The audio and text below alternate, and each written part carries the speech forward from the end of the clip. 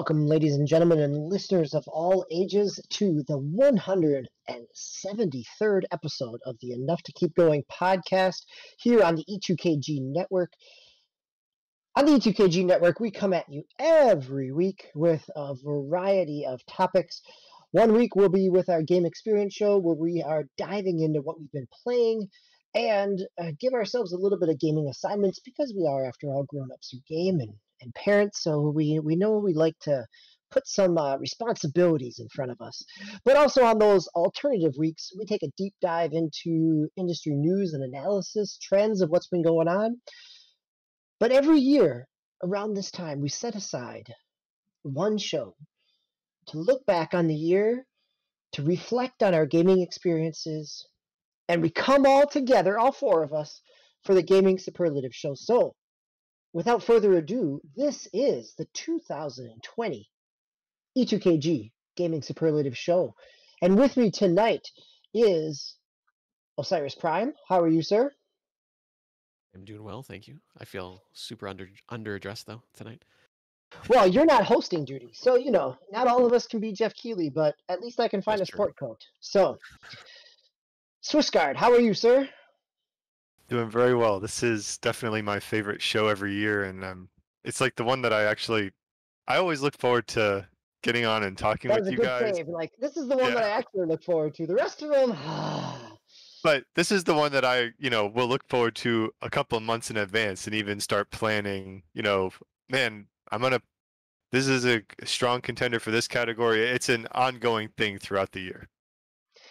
Yes, that is very true. And and, and just for those listening and, and viewing, that are gaming superlatives, these are not just a, a game of the year in terms of best game or best art direction. We go into a host of topics. Sometimes sometimes they're good, sometimes they're not so good categories. Sometimes uh, you know, we peel back the layers a little bit more, and in true EKG fashion, we break the mold on a number of categories as well. And leading us in shattering that mold is Agasicles Stamus. How are you, sir?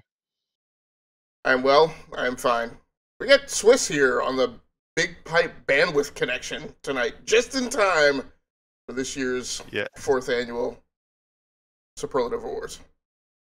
That's right. Something After went right. four years in the making, he's finally on some fiber. So And they're not. They're not. They're not exaggerating. Literally four years ago, I said, "Hey guys, I signed up for fiber. I just gotta wait for them to come to my house and install it." But it's here. And now he waited for four years. And consequently, this is actually our fourth gaming superlative show as well. So so let's without further ado, let's get started. I am your host tonight, dressed to the mm, seven and a halfs. Um, I am DBQ Hams. So our first game, we're going to start off in true award show fashion and give you a, a nice, big, meaty, juicy one to start with before we dive into some some other categories. So our first category is biggest surprise game. So that game that really surprised you, took you, you maybe had low expectations, maybe it came out of nowhere. Uh, it could be a surprise in a variety of ways. Maybe it was a story that took you and surprised you. So Agasicles, please do us the honors and start us off. What was your biggest surprise game this year? So you you are seeing E2KG production unfold in front of your very eyes in real time. So of course, so first of all, I don't. I mean, I hope I don't offend anyone else, but I I, I feel very comfortable with DBQ leading us through the superlative award show because, like, more so than anyone else, I think he's best suited to keep us on track and on time. I will say, though, of course, DBQ scrambled the order of the awards, which I didn't realize. They're out of order from the way that I had them listed and sent them, so now I just have to. We'll, we'll be fine. But it was. thank you for uh, keeping me on my toes and keeping me awake. Hey, biggest surprise game. Uh, I will admit I struggled a little bit with when I came back to this category this year because I was like, biggest surprise. And I know at one point we had a category. I think we've got it listed as something else now, where it was where it was meant to be biggest surprise in a game, and I had to remind myself this was the game that was that caught us the most by surprise. Um, for me, that game was Doom Eternal, um, and you know, there's, I mean, kind of everything around the zeitgeist of the game um, caught me by surprise. I was, of course, just as the game came out, shortly after the game came out, the, the country went into lockdown. So uh, I was amazingly surprised, and I often uh, frustrated and often railed against the notion that was out there in the gaming community that, that this was the game of the year. Um, I was very surprised to find it was winding up in the VGA nomination for Game of the Year, and I was like, really? It's it's it's Doom, um, and it's a fine game. Um, I, I, think also the reason I picked this was because it did have the biggest surprise in the game for me, which was that moment when I realized that the BFG did nothing against the Marauder, um, for which I was very frustrated and very surprised by. Here's this penultimate weapon that is, you know, the the myth and the central piece of lore in the Doom universe, and here you get the thing, and they've created an enemy that it does nothing against, and that enemy isn't even a boss. So, uh, surprises all around for Doom Eternal. I was surprised by how successful it was. I was surprised by how much it was taken up by the gaming community. I was surprised that I stuck with it and finished the game for a person who doesn't who plays plays a lot of games but doesn't complete a lot. Um, and and again, I was also surprised by uh, those uh, you know that element in the gameplay, but also a lot of things that, quite frankly, kind of turned me off to the game. A lot, you know, the the amount of platforming there were, that there was in the game, um, the number of uh, items that there were in the game that you really actually couldn't get to. You would see them in the early stages of the level, but you really couldn't get to them until you went completely around the level in a different way and would come back to them. So, uh, surprises all around. Uh, most of them not in a good way. There, Bethesda.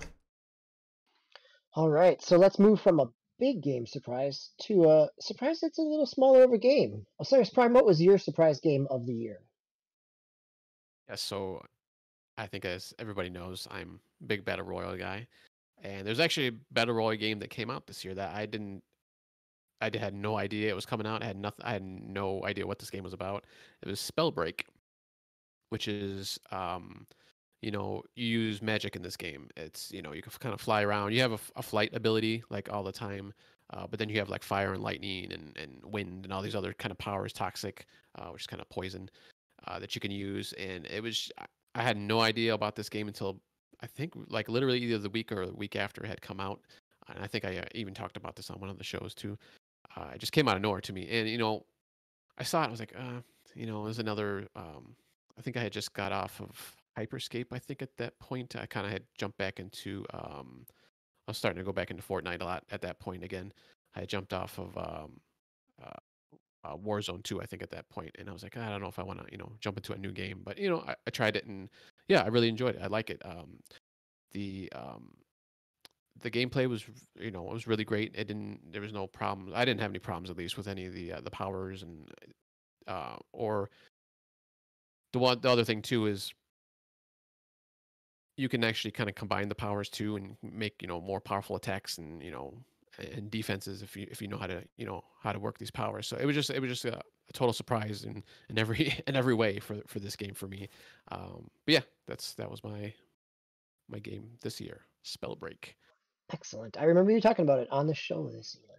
So a game that also I talked on the show, and this is we're going to go from a small game to an even smaller game. This game was a total surprise for me and it is a game that has stuck with me all year round. So this is Retro Bowl. So this is the uh, iOS, Android congregate game. This is Tecmo Bowl with touchscreen controls. It is basically that. It, if you like Tecmo Bowl, I, I think you're going to like this game. Uh, I have been playing it throughout the year. Um, I think I've actually logged about 95 seasons in it at this time uh, over three different devices. So I've had one career that went like 40 years, another one that I was in the 20s. I'm in another uh, my I'm in another on another franchise. I was up in the 25 30 years, um, and I've started multiple probably five or six different franchises at this point. So, and it, the other piece of it, the surprise piece of it is one, it came out like the week before the Super Bowl, came out over Pro Bowl weekend. Um, but the developer is one guy, uh, and he's been updating it all throughout the year. So they added audibles in. He's added replays in. He's expanded kind of the the drafting and scouting pieces of it. So it's something that he continues to add to all year round, and it's five dollars to buy the unlimited version. So well worth it uh, if you are a fan of retro uh, American football games. So that is mine, Retro Bowl. Find it on your, your mobile device and give it a try. There's a free version out there that gives you a chance to, to see if it's something that you might enjoy. So let's stick with small games. Let's jump back to a small game from a big publisher, though. What's your surprise game of the year? My surprise is Super Mario Brothers 35 for the Switch. So when they did their big 35th anniversary, they were talking about all the stuff that was going to come up. They announced this Battle Royale Mario Brothers game, which is kind of strange, you know. I mean, I guess coming off the heels of Tetris 99, it's not that unexpected, but still, it was kind of like a odd pairing. Um, and I didn't have, you know, high expectations for it, but it was free to download, so I thought I'd give it a try, and I just had a blast when I was playing it. Um, uh, so I was surprised that it worked to be honest with you like I didn't think that it was going to be a thing and as I got into it um you know I was just having a lot of fun my kids were cheering dad on as like it's winding down to the end I'm getting in the top 5 and as anyone drops off it's like oh we're almost there. Unfortunately they had to go to bed before um I logged my first win but I stayed up for like another hour after that and got a second win in the same night. So it was it was a lot of fun. I didn't um, you know, just a small free to play game from Nintendo that didn't really see coming, and I had low expectations for, and I had um, had a great time playing it. So that's my surprise game of the year. That was a fun little surprise and a, and a lot of fun as a game. Uh, I remember cheering with my family as my son got his first win there as well. So let's stick in the Nintendo realm and move over to our next category with New Lease on Life. This is our best ported, best remastered game of the year. Prime, what is your New Lease on Life? Yeah, so once again, uh, Nintendo helps me out here because I don't think I had anything for this category until the end of the year. Here was Super Mario 3D All Stars. Uh, so obviously this has three games, or this has I shouldn't say obviously this has three games in it: uh, Mario 64, Sunshine, and uh, Mario Gal- the first Mario Galaxy. And we've seen uh, obviously 64 has been ported a bunch on DS and uh, other systems. I don't think it ever came to the Wii or the Wii U, but I know on the portables it, it, it came out I think a couple times actually. Um, we've seen obviously Galaxy is not you know a super old game, so it's it's fairly new. You can probably find that you know around. But Sunshine I think was the big one here because you literally, unless you had the old system, you couldn't play this game. It was never, it never had been ported or anything before. So it was kind of nice uh, that we actually get to play that again. Uh, and I, that was probably until Odyssey. That was probably my my favorite uh, Mario game was Sunshine. So it's it's nice that I can you know jump in and and it's portable. So you know I can jump in and play that, or I can play it on TV. So uh, that was my pick: Super Mario 3D All Stars. Okay, so let's keep the 90s nostalgia rolling along here. And I'll take my new lease on life, and it is Final Fantasy VII Remake. So I'll be honest, I've never finished the original Final Fantasy VII. I have watched roommates play it in college. I have watched roommates fail classes as they continue to play it in college. Um, I have read multiple, you know, I still own my multiple disc copy of Advent Children, so I appreciate the world. I finished Final Fantasy Crisis Core, uh, so again, I'm in that realm. But this game, uh, I played the demo, really loved it, and had a chance to come back to it uh, a couple different times during the year. And one, the the art design, the way that they've kind of rethought the active time battle and the the kind of real time combat in it is is engaging, but still has a little bit of strategy when you have to slow down and jump between characters to set up limit breaks. But the way the thing that really gets me, besides it being a beautiful game and the score being beautiful, is really the ending and what they do with the story. And I'm not going to spoil anything here, but uh, that to me really put it over the top as just being a remake, but but you know not just being a remaster, but really taking it in giving it the opportunity to go in all kinds of different directions. So, Final Fantasy VII Remake. Source, I know you're an RPG guy, but your choice for New Lease on Life is not an RPG at all. So, what's yours this year? It is not. Um, I haven't played many. Uh, I played Pikmin 3 and Mario 3D All Stars. I didn't play too many remakes this year. So I ended up kind of looking at the list of what came out, and I just went for a pure nostalgia play, and I picked Need for Speed Hot Pursuit Remastered. And to be honest, I picked this game after I saw that Burnout Paradise had been remastered this year, and it made me angry. And then I remembered Need for Speed Hot Pursuit was here, and that was the pick. There was no other choice. So um, I, I picked the game that I most wanted, the remake that I most wanted to pick up. I never got around to it, but it's the one. And um, I will. I still want to play Final Fantasy VII remake and put some more time into 3D All Stars, but I put many many hours, a lot of early mornings with the Gasicles and Need for Speed Hot Pursuit. So that's the pick. Nice. Well, let's go to Agasicles here and and hear his pick for New Lease on Life, which is a game that we've all played multiple times and together, that is well deserving of this award. Yeah, I don't know. Have we actually played this game together? I think we've played a game in the franchise together. But uh, so, uh, and before I do that, I just want to mention. So, so one thing that's a little weird this year um, is that.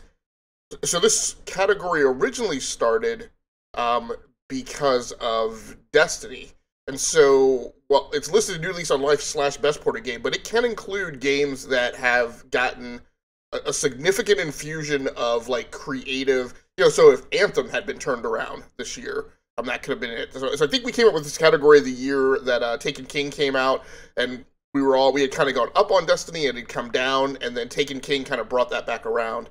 Um, so I'll just mention that.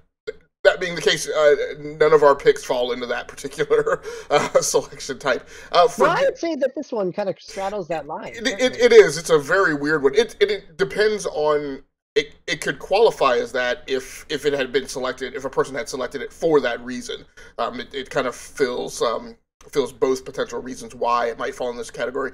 Uh, for me that game was halo the master chief collection uh, and specifically the game on pc so what dbq mentions is you know in addition to the regeneration of all the single player content obviously this game also has a massive multiplayer online component and i see tons of people playing the game uh, for that reason. Um, there are lots of people that are engaged in like the seasonal, um, you know, month to month, quarter to quarter, whatever um, changes that they make and updates that they make, and, and really enjoy uh, reliving their Halo uh, lives uh, inside the MCC. I fell in love with this in its new lease on life because there were games that I didn't play. I, I'm a person who only played the core franchise, so really to me that's even just Halo One, Two, and Three, um, which were uh, did I guess did Bungie Bungie did Halo Four, right? No, Bungie did Reach and ODST, and then they left after Reach. Okay. And 343 did Halo 4. Okay, so, you know, the, the original Bungie titles. Uh, so all those other games, you know, Reach, ODST that DBQ mentioned, um, and, you, and even four I've never played. So uh, you know, in combination with it being ported to the PC, where as much as I love consoles, I will admit games like this I feel like play best. Um, and of course, all the lavish graphical updates uh, to them. Uh, and, and I'm actually, despite my personal philosophies on the whole concept of uh, that the Marvel that the MCU movies should not be watched in chronological order of the timeline. Um, I am actually playing through the Halo franchise in exactly that way. I'm actually playing it in the order in which the events occurred. So, uh, so this was my first year playing Halo Reach, and I had a blast um, playing it. Um, and now I'm, you know, playing a playing a uh, whatever. What is the subtitle for the first game? Combat, Combat Evolved. Yeah, yeah, yeah. Much like Episode Six of New Hope, it's the subtitle that nobody ever remembers. But, uh, but yeah, but you know, I, I fell in love with it because, like I said, it's a it's an opportunity for me to go back and touch a lot of the uh, uh, mythology that I've never been exposed to before. Excellent. Yeah, they've really the PC ports have come around nicely. So, from some exciting positive categories and some highs, let's let's take a step back and talk about our most disappointing game experience. So, Swiss, please start us off with your most disappointing game experience, which I'm pretty sure this one we all shared in at least somewhat together. Indeed. Um, first, though, I'm going to say I'm disappointed that Agasicles said that episode six was A New Hope and not episode four. Yeah, But, yes, I um, was speaking quickly and got a little discombobulated. Yeah, you're absolutely right, and I and I do know that. I'm just uh, just talking too fast. Thank you. That that, that helped save our show's We had, nerd we had so to we had to we had to say that. Okay, You know, so it's been a while since we had a, a, a nerd alert in here, so we had, it's been a while. Um, mine is Crucible for the PC, and there was a little bit. I wouldn't say a lot of hype, but there was definitely some chatter in the gaming world. Um, moving up to Crucible, um, Amazon wanted that like in-house uh, competitive game specifically geared for like the Twitch crowd, I guess you could say. And I know in the run up to it, there were a lot of streamers that were playing it kind of before it was released to build up some more hype. Um, the main mode had like both PVE and PvP concepts, which reminded me kind of of Destiny 2 Gambit, which is my favorite competitive mode in that game. So I was um I was excited to try it out. My wife was excited, and I and we got with you, I think, DB, on launch day. So the three of us all got together to play it, and it was buggy and confusing, and it didn't really work. Like I was actually feeling like the game was just like cheating me.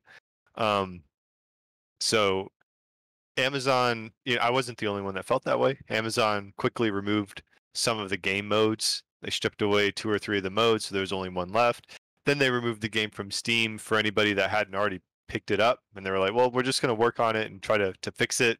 And then I think recently they said they completely abandoned the project. So I think that's kind of a disappointment. If if if Mario 35 was having me having low expectations and being pleasantly surprised, this was me having high expectations and being extremely disappointed. Yeah, I think this one is one that was shared. We we definitely were excited to give it a try. Agasicles joined us the next night because the first night he was stuck in the tutorials that he couldn't get out of.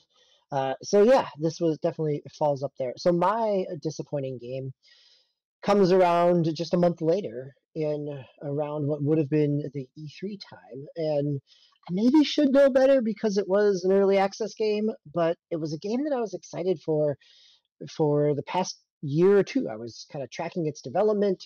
You know, when it was going to be a free to play game, I was really interested to see where they were going to take it. And I am, of course, not of course, but I am talking about Torchlight 3, or previously formerly Torchlight Frontiers. So, Torchlight 3, when it launched in early access, it was really early access. Uh, and I have come back to it uh, month after month uh, with different upgrades uh, and different updates. And it is it's fine. It is it is even I would say good.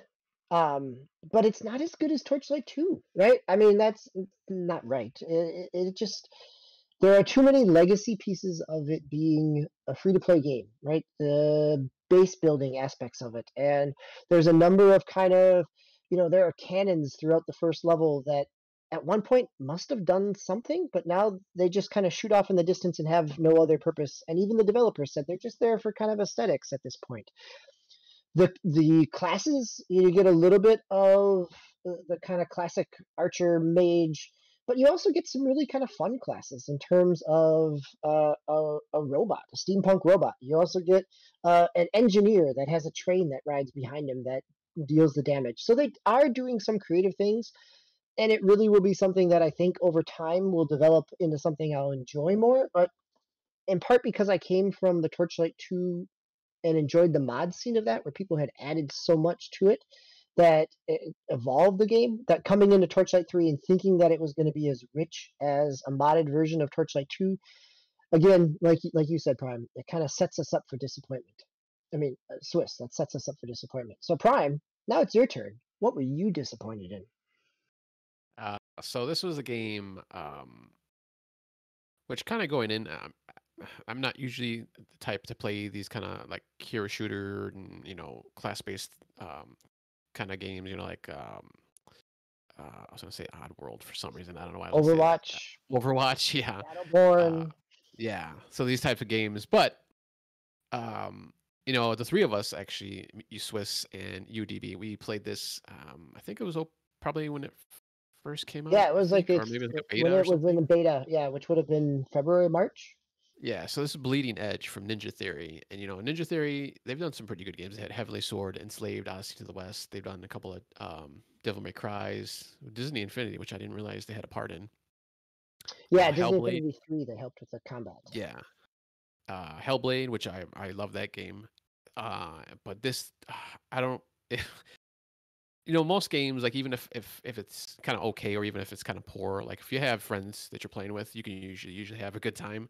But I just did not have any any sort of fun or any time any type type of good time on this game when we were playing.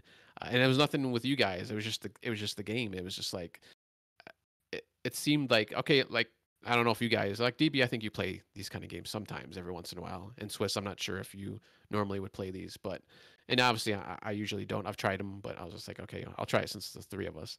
But the fact that it was the three of us, you know, we were talking to each other and we were just getting destroyed, like utterly destroyed. And I think maybe there was one. I think it was what it was four. It's a four-person team, I believe. It- Four, yeah, was, Yeah, at least at that four. point, there were four v four. Yep.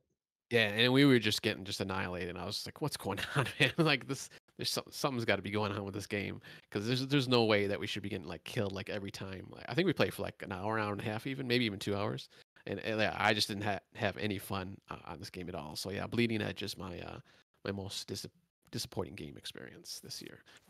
I, re- I remember when we stopped that, your your last words were, "Yeah, that's enough," and then you like, I that like was instantly funny. uninstalled it uh, after we played.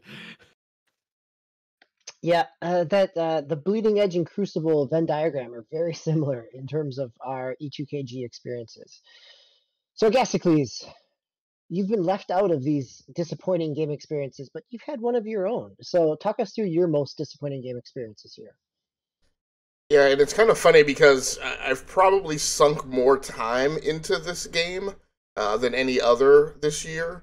Um, I'm on my third restart, uh, most recently, um, and and I will admit, in the the third time around, uh, the game is is mating with my palate a little bit better.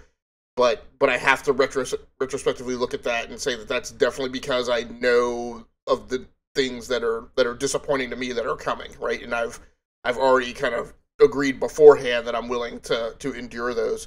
Uh, so, but my mo- most disappointing game was The Last of Us Part Two, um, and I'm sure that the the internet, the walls of the internet are crumbling as I say that.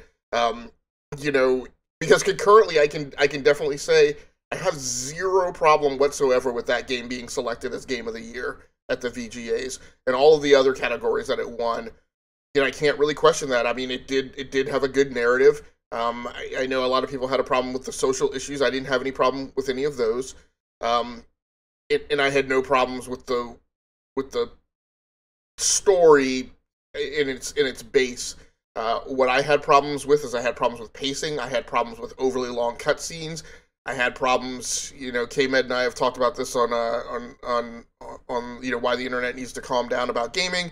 You know, but I had problems with the fact that they are constantly yapping, right? Like, like not even in cut, not just in cutscenes, but as you transition back into the real world, like the characters are constantly talking, and there's a part of that that's okay.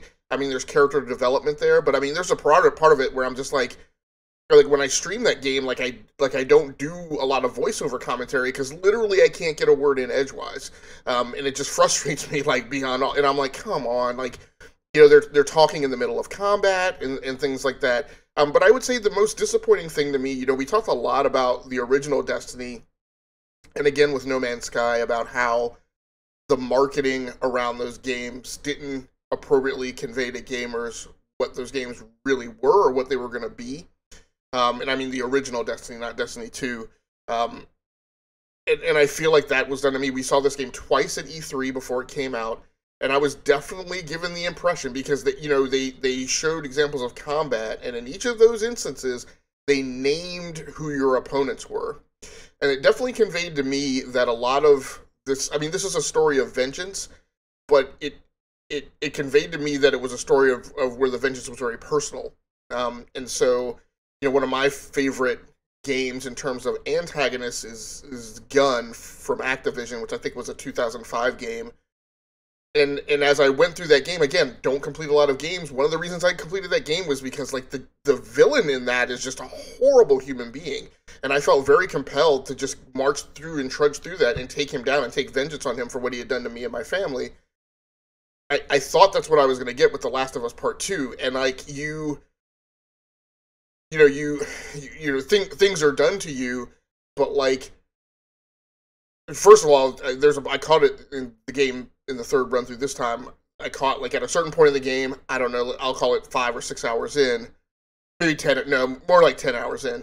You know, there's a scene where you're told, you know, that's three down, and I'm like, who in the heck are the three people who were there at the tragic event, right? That that I took. Like, I didn't even know that I had fought them at all, and so, you know, there's there, there's a lack of tying a very personal experience to that tale of vengeance, and and I felt like that's what was conveyed in the two E3s. That's what I thought I was getting, um, and I was you know highly disappointed by the fact that that's not that that that that doesn't feel like it's really tethered, and it just feels like vapid ultra violence um, in a game that is in some ways not entirely different from uh, from a Call of Duty or a Mortal Kombat, right? It's just like the combat's kind of neat, but it's like there's there's no there's no emotion hooked to it at all.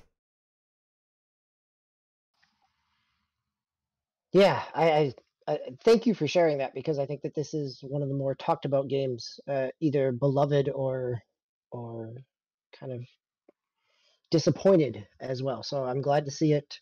Ha- I'm glad us to have a chance to kind of talk about it as well. So Let's move into our next category, which is a Wretched Hive of Scum and Villainy, as we just made a Star Wars reference before, so let's keep that going. But this is our game most emblematic of sleazy business practices. This uh, grew out of 2017's Battlefront loot box EA debacle, uh, but it has evolved into a variety of things. So, Swiss, why don't you start us off with your sleazy business practice? All right. So I'm gonna go with um I'm gonna reach way back in 2020. I'm gonna go with Blizzard for Warcraft 3 Reforged.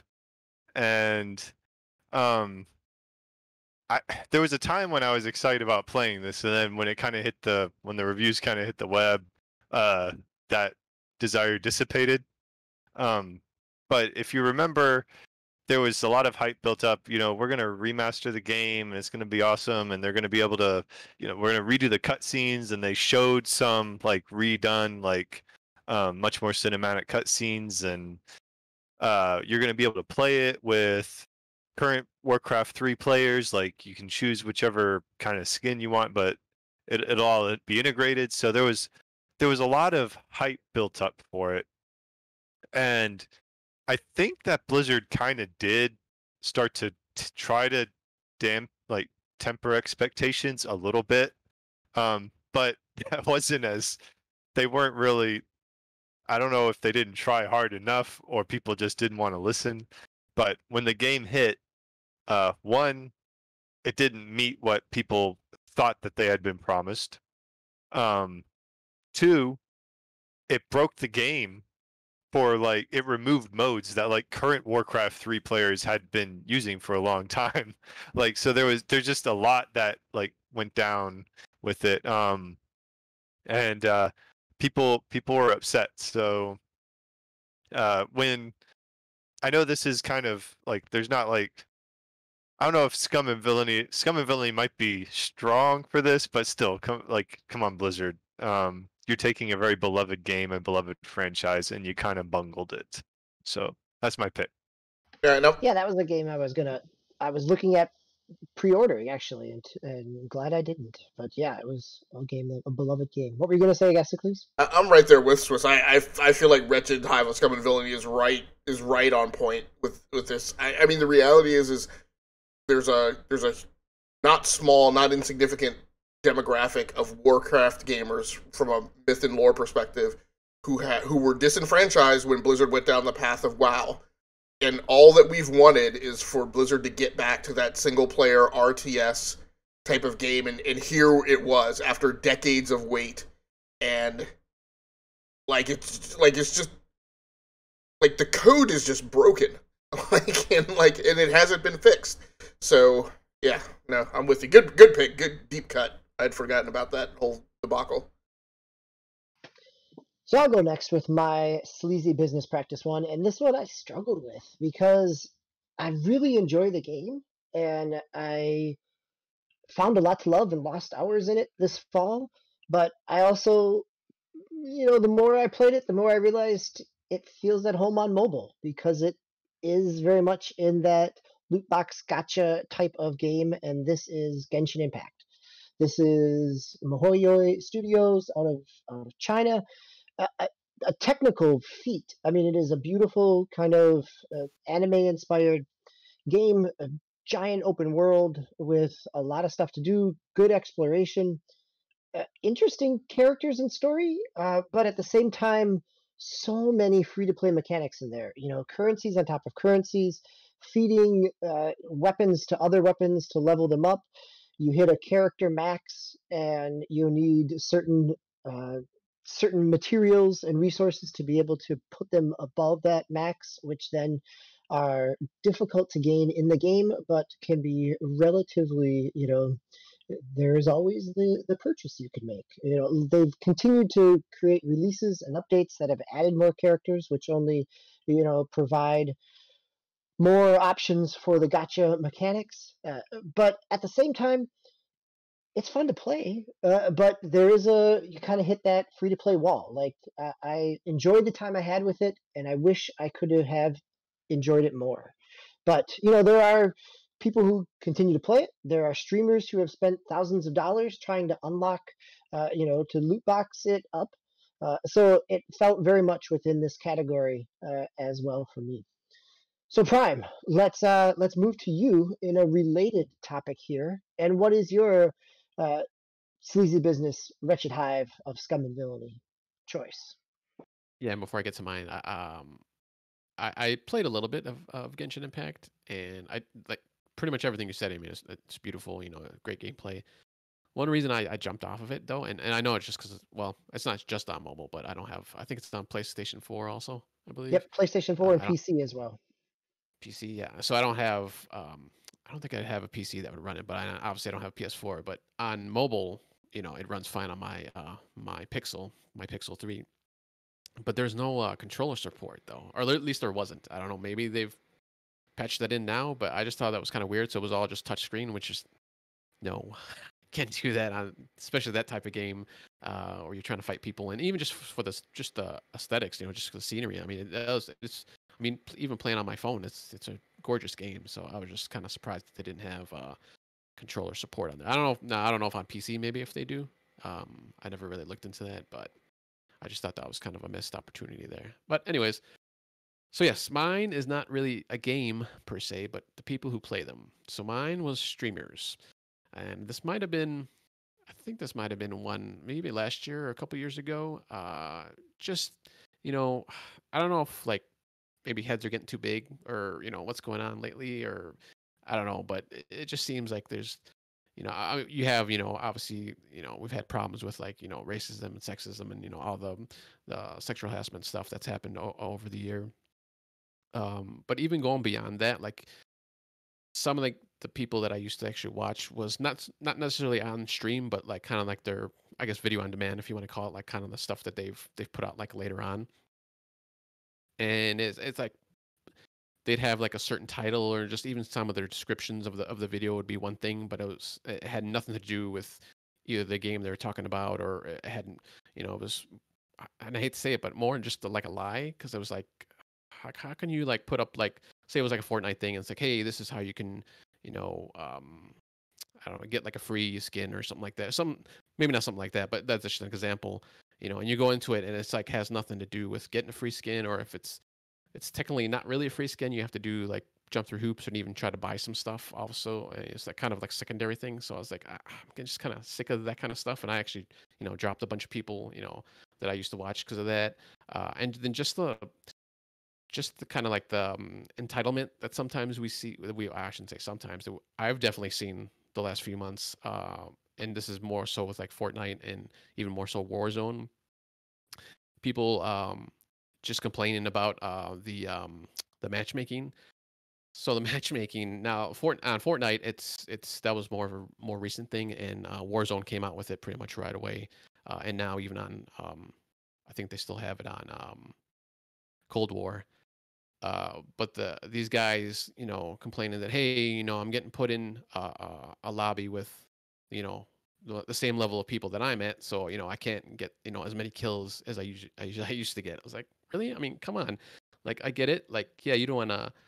Um, you don't want to be like all tense and stuff like all the time but i mean in the same in the same respect you got to think about you got to kind of think about the big picture too i mean when when the when the companies put these matchmaking um, uh, things in there they're not just thinking of the streamers you know thinking of everybody so like like someone for me like if to be honest if they didn't have the matchmaking in fortnite i would i was like getting a win maybe like once every quarter if I was lucky. And you know, once they put that matchmaking in, I you know I was put in you know the same level uh, games as you know that I am at. So actually, you know, I do win a lot more. And same thing with Warzone, uh, and maybe a little bit more with Cold War because Warzone. I hate to admit, I still haven't won a game in Warzone, at least in the battle royal, the battle royal uh, part of it. Um, but uh, yeah, that that was so that was my thing. I, I don't want to. I could probably keep going, but I'll just stop there. So streamers. Fair enough. Press, oh, oh, oh, wait, wait. Press the company excluded, by the way. okay. Nice big asterisk there. So let's jump from one soapbox to another. Gasicles, what is your sleazy business practice this year? Or not yours, but your choice. now, yeah, no, I really love some of these picks. I, I, I like primes. I, I, think primes is like an extension of. I think last year I picked uh, the gaming community in general um, because of the just like the entitlement and like the childishness with which we treat you know the creators who build the, the, the, games that we love. And and yeah I'm I'm right there with you Prime and the fact that you know streamers became very self obsessed very self centered this year. Um again I, th- I think a lot of people forget that like I'm going to be hated on for saying this but like most streamers who have made a name for themselves by playing a game they wouldn't have been able to make a name for themselves if it weren't for the creators who developed that game right? Like the like the the developers and the creative director and the producer. Those are the people who are really making content, con- who are really content creators, um, putting things out there. Uh, but I digress. That's a soapbox for another day. Uh, my pick is again another soapbox this year. Uh, I didn't really have um, a publisher, which is generally what we pick, uh, who put out a game um, who, who, had a sleazy business practice behind it.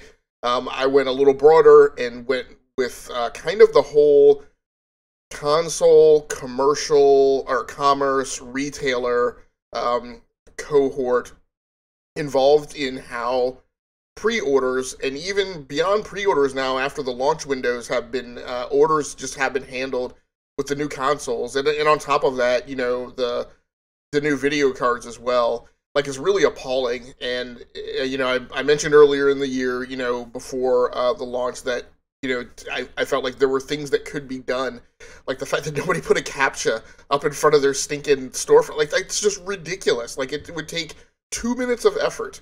Um, you know, Great Scott, like forums that you like download and apply to websites come with the captcha technology package. You just click it and turn it on.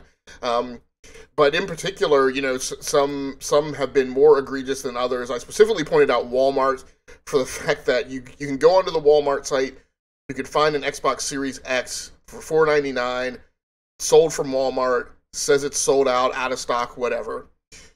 It's just like Amazon. They allow uh, other stores to sell through their web presence. So kind of like when you go onto Amazon, you have to look at like who the seller is, um, because if it's not Prime or whatever, it may not ship. You know, it, it won't say ship and sold by Amazon.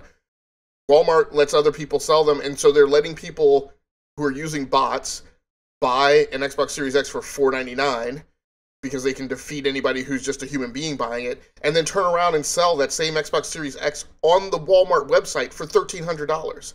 So you know, it's it's one thing when they buy it from a storefront and then go off to eBay. Yeah, those things are to be expected, but the fact that like they're scalping the product exactly on the same website, like Walmart, I feel like it's incumbent upon Walmart to take some action. That's there, there are thresholds to a free market economy, and I feel like that that that breaks it. Um, but also I'll just lump into this category since I'm kind of it's kind of like commerce and retail in general. Um, obviously, the Xbox Series X and S and the PlayStation 5 require a TV with HDMI 2.1 to achieve 120 frames per second uh, at 4K because HDMI 2.0 and less doesn't have the bandwidth to convey that. It's not a problem on PC because we can use DisplayPort and so it can push that. So like I was completely even oblivious to this notion until this year because again I use DisplayPort, so I've never even 4K above 60 hertz. It's a thing that we do all the time. retailers right now are pushing 4K TVs at huge discounts, and they're saying that they're 120 frames per second, but they're not HDMI 2.1. And so when you hook up a PS5 or or a new Xbox to it, it's not going to do 4K at 120. They're pushing them and bearing those details down, so people are you know going to flock to the those sales and websites, buy those TVs, and then get disappointed because they don't understand the spec behind it. So that's that's what I'm putting on the putting on the pyre of uh, wretched scum and villainy this year. All right. Well, let's move on from the negativity and let's talk about some developers or publishers who have come back in the face of negativity. Uh, so this next category is our developer publisher with the best attitude in the face of adversity. So I think we all can agree that 2020 was a heck of an adverse year for uh, for working conditions, for living conditions, for mental health conditions. So the, the the gamut of what people could choose for this category is all over the place. But let's see what our esteemed panelists chose. Agasicles, your choice for best attitude in overcoming and facing adversity. Yeah, and since I ended off the last category and started this one, was a race to find the uh, my pick for this. it was actually uh, 343 Studios. So, um, and, and, this is kind of a lifetime achievement award in some ways. Uh, it's it's kind of like Denzel when he won his Oscar for a movie that wasn't his best the year after because he didn't win it for Malcolm X. Uh, but that's again another soapbox for another day.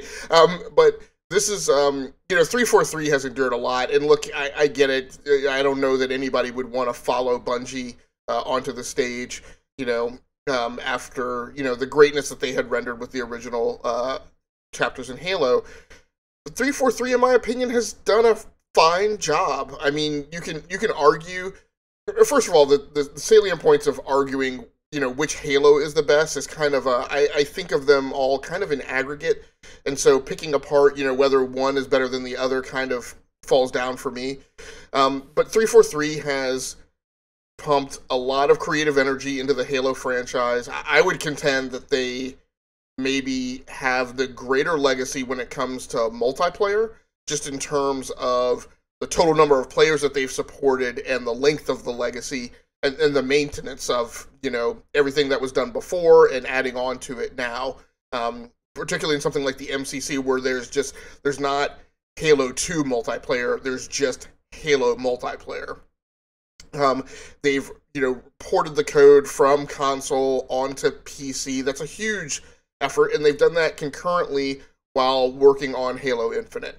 And so I get it. Halo Halo Infinite was canceled, you know, but they're a studio that just gets slagged for kind of every little thing that they do. Like it's it's. I'm sometimes amazed that people work there because it's it's kind of one of those situations where they're kind of like no matter what they do, nobody's ever going to consider them, you know, the equal of Bungie, or nothing's ever going to be good enough. Um, and so, you know, dealing with the the reveal of the Xbox Series X and S uh, uh, event in, I think that was it was in in August when, when that whole controversy went down, or sometime in the that time frame. Um, and then dealing with you know Halo Infinite being canceled, and then I think it was the creative director leaving, and of course that's sprouting a lot of rumors that you know that whole team was under duress, um, which again I don't know that I've seen any corroboration of at the to the extent of you know the Anthem team. Um, I, so I just you know and and what I love about three four three is amazingly three four three ignores all of it. We haven't had things like the way respawn dealt with um, with people who were slagging Apex, right, and and their developers in uh, in reset on ResetEra and in Reddit chats blowing things up, or like the developer who blew things up for I don't remember know who the publisher is, but uh, whoever does Guild Wars, yeah, getting into it with their community. We haven't had that. Like whatever Microsoft is doing and whatever that development team is doing about, quite frankly, just just keeping their team in line because because I have problems with people who are on social media who have like their publisher name and, and they're known to be an employee of that company. I mean, I mean, every company that I've worked for, and I'm sure Microsoft is the same, says you're not a representative of the company. What you say in social media doesn't right, but everybody, but by the same token, you got to be careful about what you say, and and those examples that I cited, those people aren't really careful. Like they they go out and they get in the mud and they wallow with the pig and they they suffer the consequences for it and their and their companies do. So three four three, in my opinion, has done an immaculate job of managing um, that and and largely that's just by they just keep doing their job and putting out content and they let sales speak for themselves. So I'll agree with you there, especially in the lifetime achievement piece, right? The their the length of time that they've spent uh, re revising and and correcting Master Chief Collection, and then just what they've done on PC has been excellent. I do want to make a correction that Halo Infinite has not been canceled; it's only been delayed until 2021.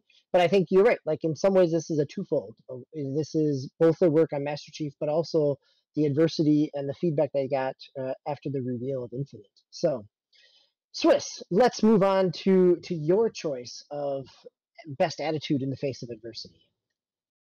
I picked Creative Assembly for Total War Saga Troy, and um, I mean, it, all, the publishers kind of had to deal with COVID, obviously, but um, this is a game that had uh, an Epic Store exclusivity deal, and there's some like many corners of the internet. It's you know having those Epic exclusivity deals aren't exactly popular for a lot of PC gamers, and um, so Creative Assembly kind of took a creative approach and said, hey, you know what?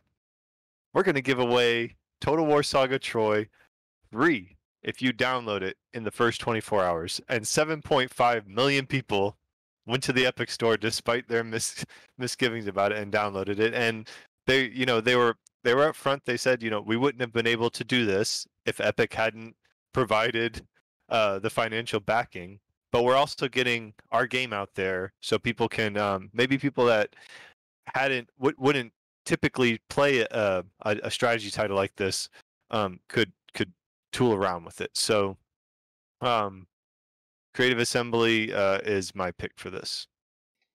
Excellent, thank you. So, Prime, you've got another one which I think could go toward a, a uh, mm, Console Generation Achievement Award here for for your choice as well. So, what is your best attitude in the face of adversity? Yeah, so this is uh, kind of like I guess this is kind of a lifetime achievement uh, award. Uh, this is Hello Games, the makers of No Man's Sky. Um, they, I think they've they just hit out of the park this year. I mean, they had I think about let's see, one, two, three, four, five, maybe six different uh, updates this year that just kind of built upon No Man's Sky. Uh, they had the living ship. They had the uh, exos, the exomechs, the exosuit that you can you can jump into. Uh, they had crossplay, uh, multiplayer crossplay that you can do between all the uh, system consoles and PC. Uh, Desolation, which was the kind of a um, abandoned ships that you can go into, and, and you know they're procedurally generated. So uh, just like the planets and stuff and the animals that that uh, occur in the different worlds in the game. Uh, Origins, uh, which brought back, I guess, more variation, which I, I didn't. I kind of, I guess, I kind of noticed that when I kind of jumped back into it this year, but basically all the the plants and the uh, the animals on, on the different worlds kind of were kind of samey, uh, at least within the same system you know, if we went to different systems, they kind of varied a little bit more, but it was still kind of the, the same thing. But now they've they, they thrown that variation back into that that uh, uh into the into the animals and the plants and everything now, uh, and then just kind of just out of nowhere, like I don't think this was ever even discussed or anything, or maybe people asked them, you know, if you're going to do anything for the, the, you know the Series X and PS5, Series S.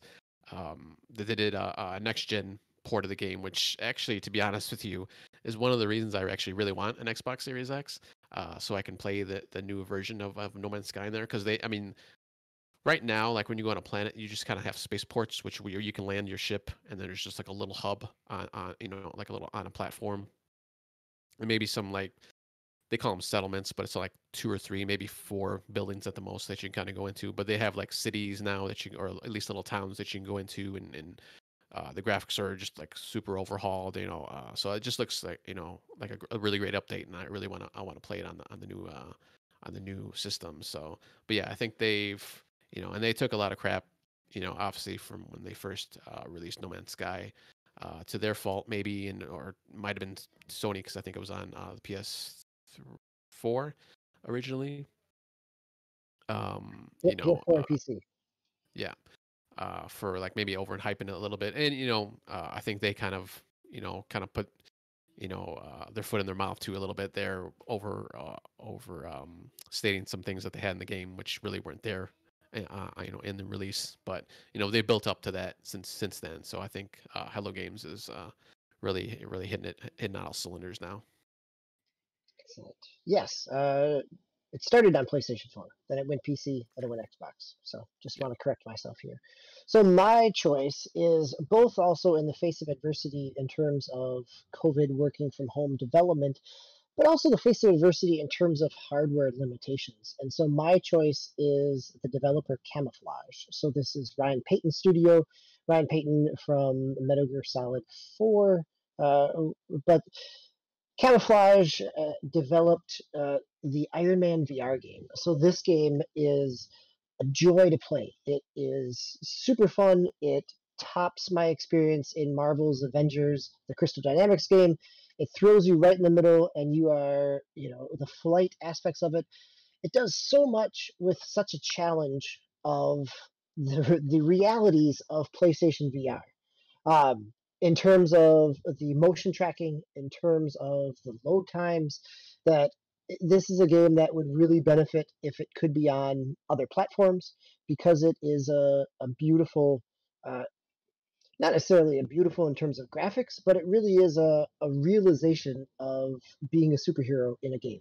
So this is Camouflaj uh, Iron Man VR.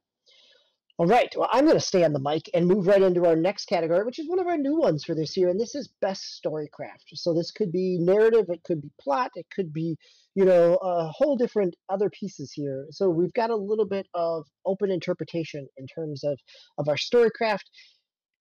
And as a librarian, I put myself first just because I have the ability to do that as the host. So mine actually for the first for the last few weeks has been Marvel's Avengers. I, I loved the actual campaign of that. It was a great comic book story. It compelled me forward. It was something that you could, you know, it was the the popcorn movie chewing through the scenery and just a really beautiful joy. But that is not my choice. My choice is a different game, a game from Vanillaware, which has done Muramasa, which has done Odin Sphere, uh, games that it did uh, Dragon's Quest, uh, Dragon's Crest, uh, games that I have enjoyed mechanically, not always artistically. Um, so this game is 13 Sentinels Aegis Rim. So this is uh, it is a combination of a visual novel and a strategy game.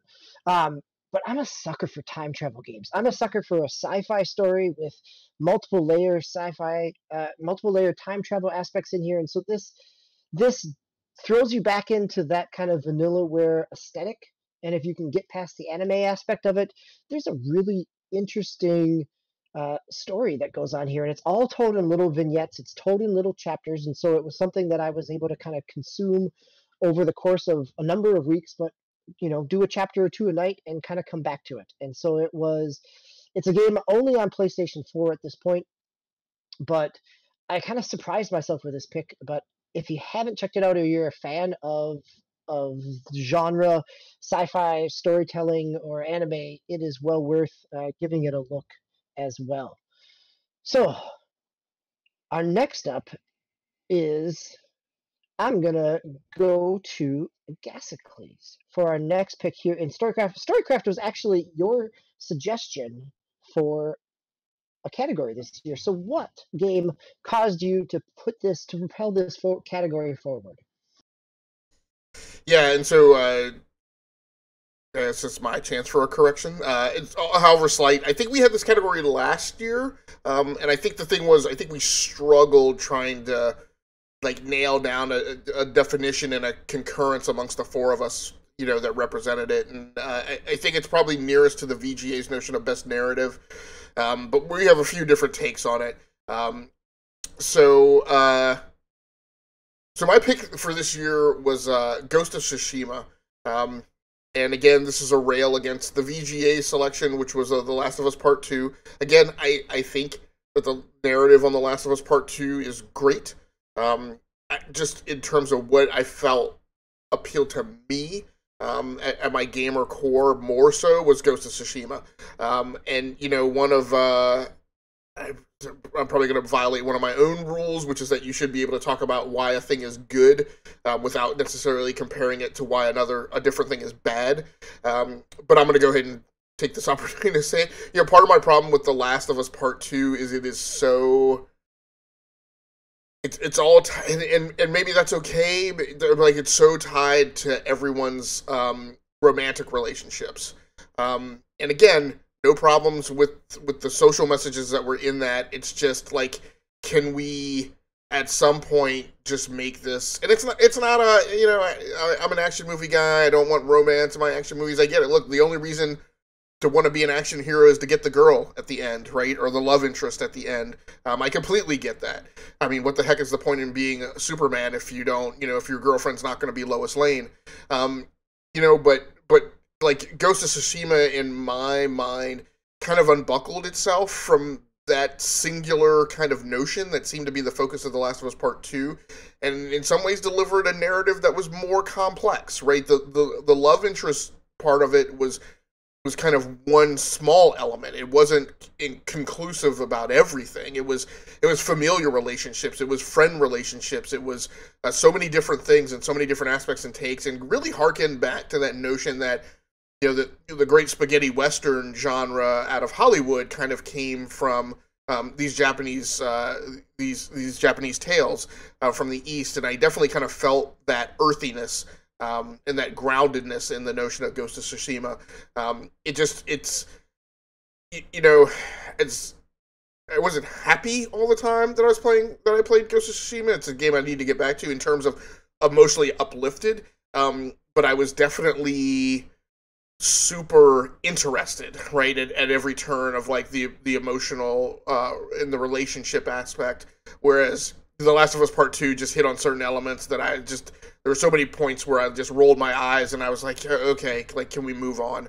Um, and part of it is again that, that yappiness in between cinematic cutscenes, which you don't have um, in Ghost of Tsushima. You know, you you have your set pieces, you have your you know uh, you, you have your dialogue and your script, and then that ends. You, you kind of wipe your hands free of it. You get on to action handle business and then you get back to a cinematic cutscene at some point. So I just felt like the overall narrative delivery um, and the structure of that tale uh, was a little more appealing to me than The Last of Us Part Two. Excellent. So as we round into the first half of our show, let's keep some of the foreshadowing going in terms of games that we'll be coming back to in the second half. Swiskar, you also have a game here that is going to get mentioned again, but why did you put it here as your best storycraft? Um, I picked uh, Paper Mario: The Origami King, and I will be honest and say that I was really probably leaning Ghost of Tsushima for a long time as well. So that was the very, uh, very competitive runner-up. But I think I ended up giving the nod to Paper Mario: The Origami King because for me, that's the absolute best part of Paper Mario. So there's, um, you know, the the battle system and whatnot um, leave a little bit to be desired. It, it's okay, but it's not great. What makes Origami King a joy to play is just the the the clever storytelling and um, the dialogue. And so, just like as a tip of the cap to um, the writers and and and um, everybody that kind of de- designed that story in that game, uh, I, I wanted to um, to recognize that. So, Paper Mario: The Origami King edges out Ghost of Tsushima for me. Excellent. So, Prime, what was your best storycraft of the year? I was actually uh, struggling, struggling not because like I didn't play any good games or anything like that, but just because I was kind of throwing around a couple games, and actually Paper Mario was my was my first choice at first. Um, but then kind of thinking about it, Immortals: Phoenix Rising, which is a newer game that just came out recently from Ubisoft. Uh, I, I'm really enjoying this game. I really I'm really getting into the story, but um, mostly because it's it's um, you know kind of Greek um, mythology. You know, I'm always a sucker for any of those kind of stories. You know, I've always I've always tried to watch any kind of movie or read books and you know do all that kind of you know get that kind of content with uh, any kind of uh, Greek mythology stuff. So this was kind of right up my alley. Now, I was a little surprised because this was almost one of my surprise games also because it's actually pretty funny. It's a pretty funny game. Uh, the banter between Prometheus and um, Zeus, uh, you know, they, they kind of go back and forth, and it's not as annoying, you know, as annoying maybe as as The Last of Us Part Two. Like they kind of jump in there every once in a while, but it's not a constant thing. Um, uh, like I guess because he was saying with Last of Us Part Two this is more i mean they do talk a lot at the beginning obviously because they're trying to set up the story but then you you know kind of hear them throughout you know as you're going through the the um uh the world you know doing your missions and everything and even like on some of the cut screen uh the cut scenes or not cut scenes uh the um, kind of the loading screens they have like little hints and stuff you know, like, hey, you know, if you want to, um, you know, beat a certain enemy, you know, you do this, and then there's like a little blurb from Zeus, like underneath, or Prometheus, you know, saying kind of, you know, a funny comment or something like that. So it's just kind of those little things too that that are kind of in there uh, that makes this my pick for best story craft. Now I haven't finished it, so I can't say if it's you know like a best story if it ends well, but uh, I do I do pick it because of the just kind of the surprising elements of it, uh, just kind of the funny funniness. Because I thought it was more of a kind of serious, you know, kind of like a God of um, not God of War, um, Assassin's Creed type of a story, but it, it really surprised me with the uh, the funny beats in it. So that's my choice. Excellent. Yeah, I have been enjoying that game and the story uh, as well as we were talking about in the pre-show. But stay on the microphone here and keep that that humor uh, thread going here because our next category is best comic relief, either overall story or a character in the game. So, what is your choice here, Prime? Does does does Immortals phoenix Rising win two categories in a row for you? It does not. no, uh, it's actually, and I'm sorry if I messed up your um, your flow here with uh, with this one because I think it would have led into to this category. But it's uh, the Toads from Paper Mario Origami King. Um, you know, you you know you have to go around the in the in the world here in Paper Mario and find these guys, and they always you know spouting like you know you know funny sayings and just kind of funny things as you find them, or just like if they're already in there in the world and you know you're talking to them. So uh, yeah, it's the Toads in Paper Mario, and I do have to say it was a tough choice because I really don't like the Toads. For me, in Mario Kart and uh, Mario Party, they, these are the guys that are always getting me, always you know messing me up at the end, like in uh, Mario Party.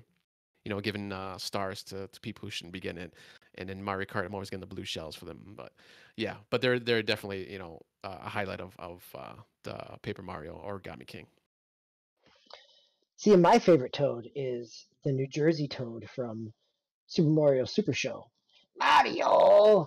So, but I will stick with you and go Toads in the Paper Mario Origami King as well as the, the times that I have chuckled the most this year in a game. And in part, it's because I played Paper Mario with my my son, sitting on the couch together, and we both kind of sometimes they're like cringeworthy dad humor jokes, but the again, um, you know, Treehouse does a really good localization stuff, and they have a lot of fun with the dialogue and and kind of the the self awareness that they bring to the Mario universe in it as well.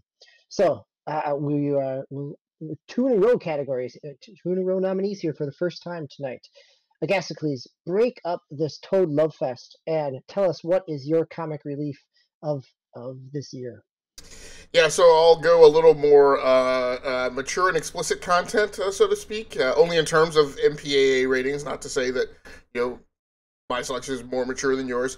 Um, but one of the games I went back to this year uh, under the guise of its remake was uh, Mafia uh, Definitive Edition. Um, and I, I bought the whole pack of all those Mafia 1, 2, and 3. Uh, I haven't played through all of them, but you know, in, in playing through uh, Mafia, the original Mafia, um, as much of it as I did, you know, you're re-exposed to the character Paulie. And so, if you're a fan of things like um, The Sopranos or uh, what's the, I'm forgetting the name. I'm brained up in the name of the movie now, but the the Joe Pesci uh, Ray Liotta.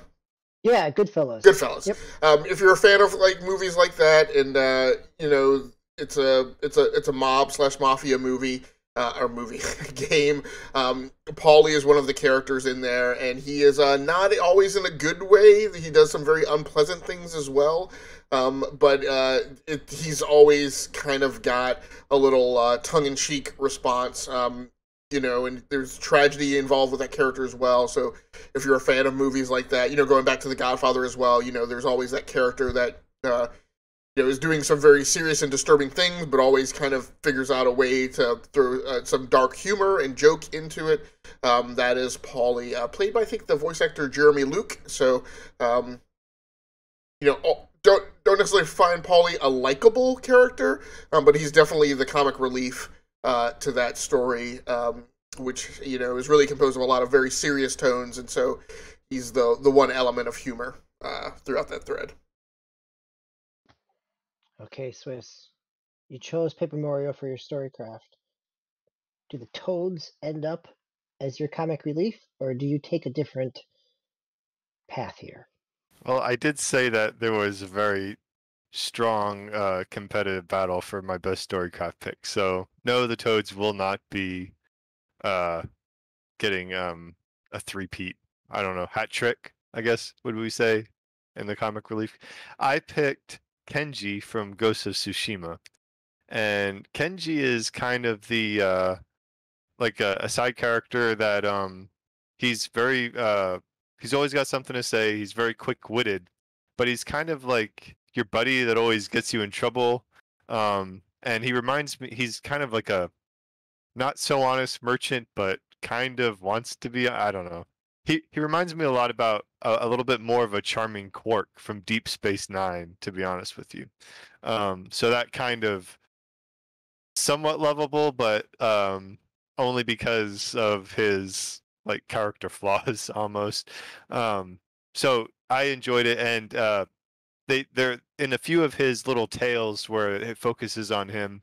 They they did have some very um, humorous dialogue when, especially when he kind of gets his comeuppance with some of the villagers, and uh, you know they they basically let him know how they feel about his character. So it's good.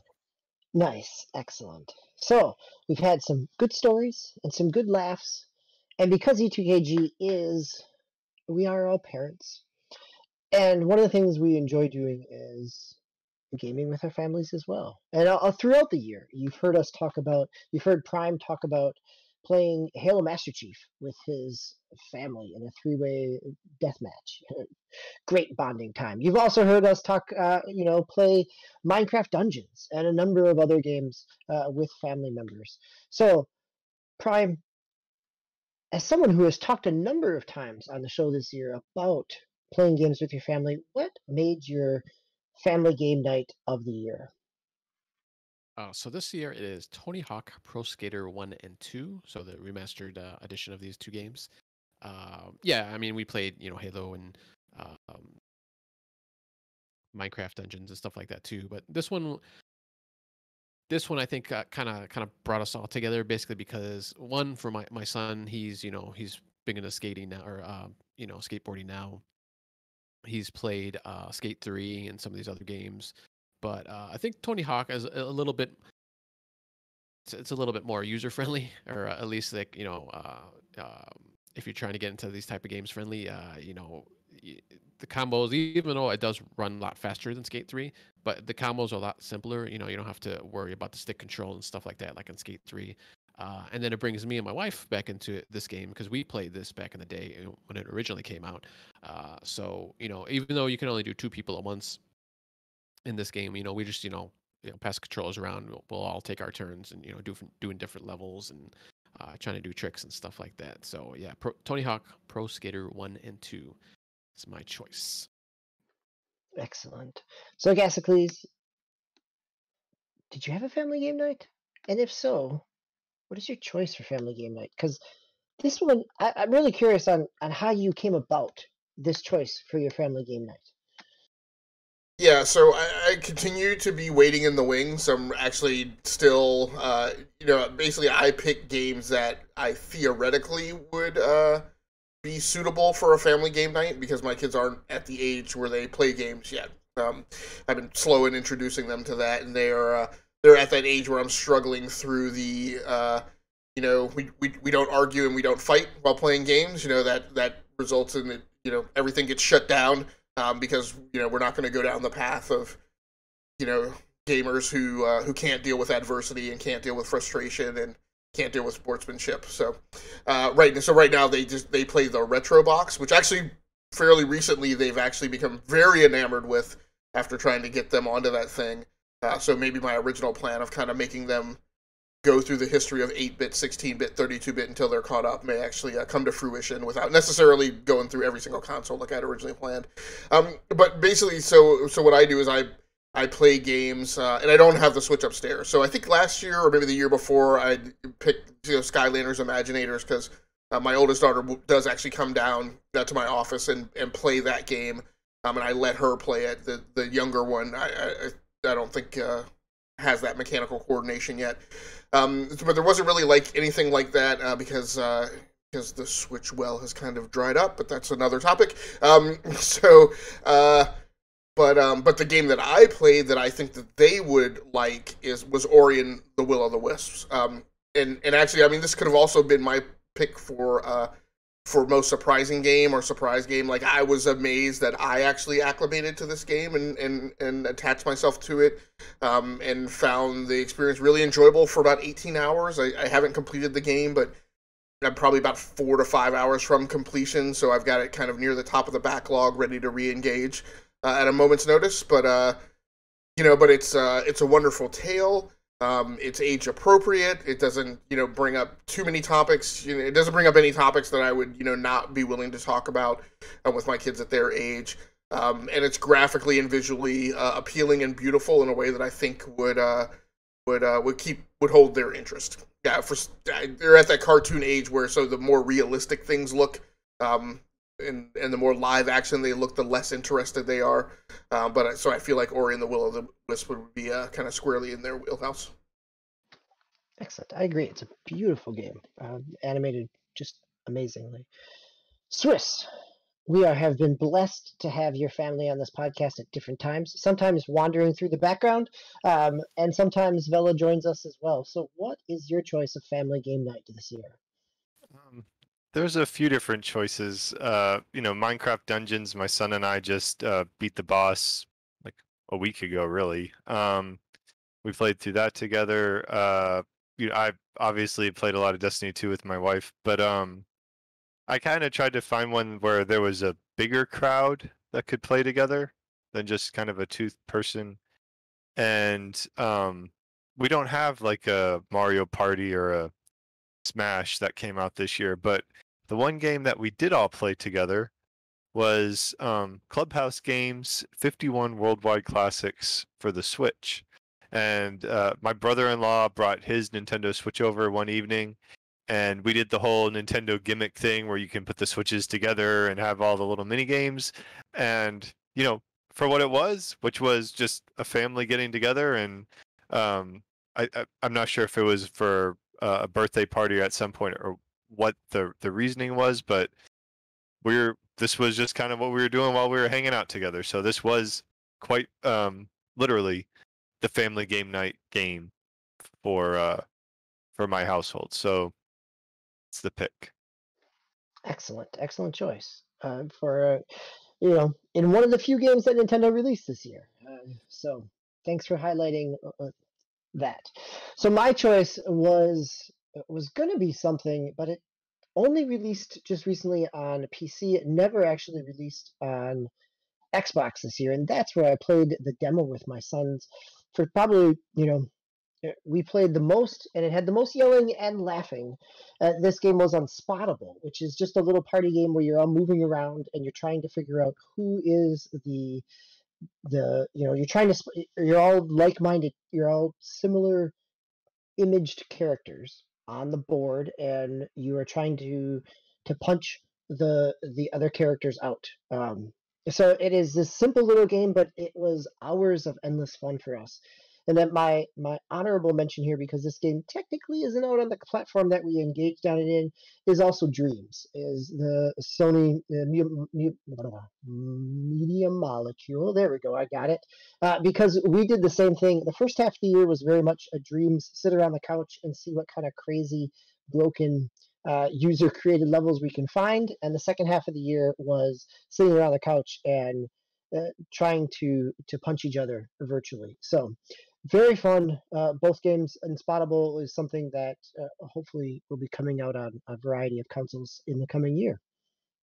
So let's move on to our next category. And in this year of 2020, where we had some big name breakthroughs in terms of high profile games, uh, both in terms of, of streaming and in terms of critical uh, games that engaged uh, mm, the general culture is really what our category is next is it, uh, games that have been they're most likely to be mentioned in other media as pop culture. And in the year of 2020 in a year when game spending more than doubled over the previous year we saw huge increases in game spending as large chunks of America and the and the world had time of of shelter at home or quarantine.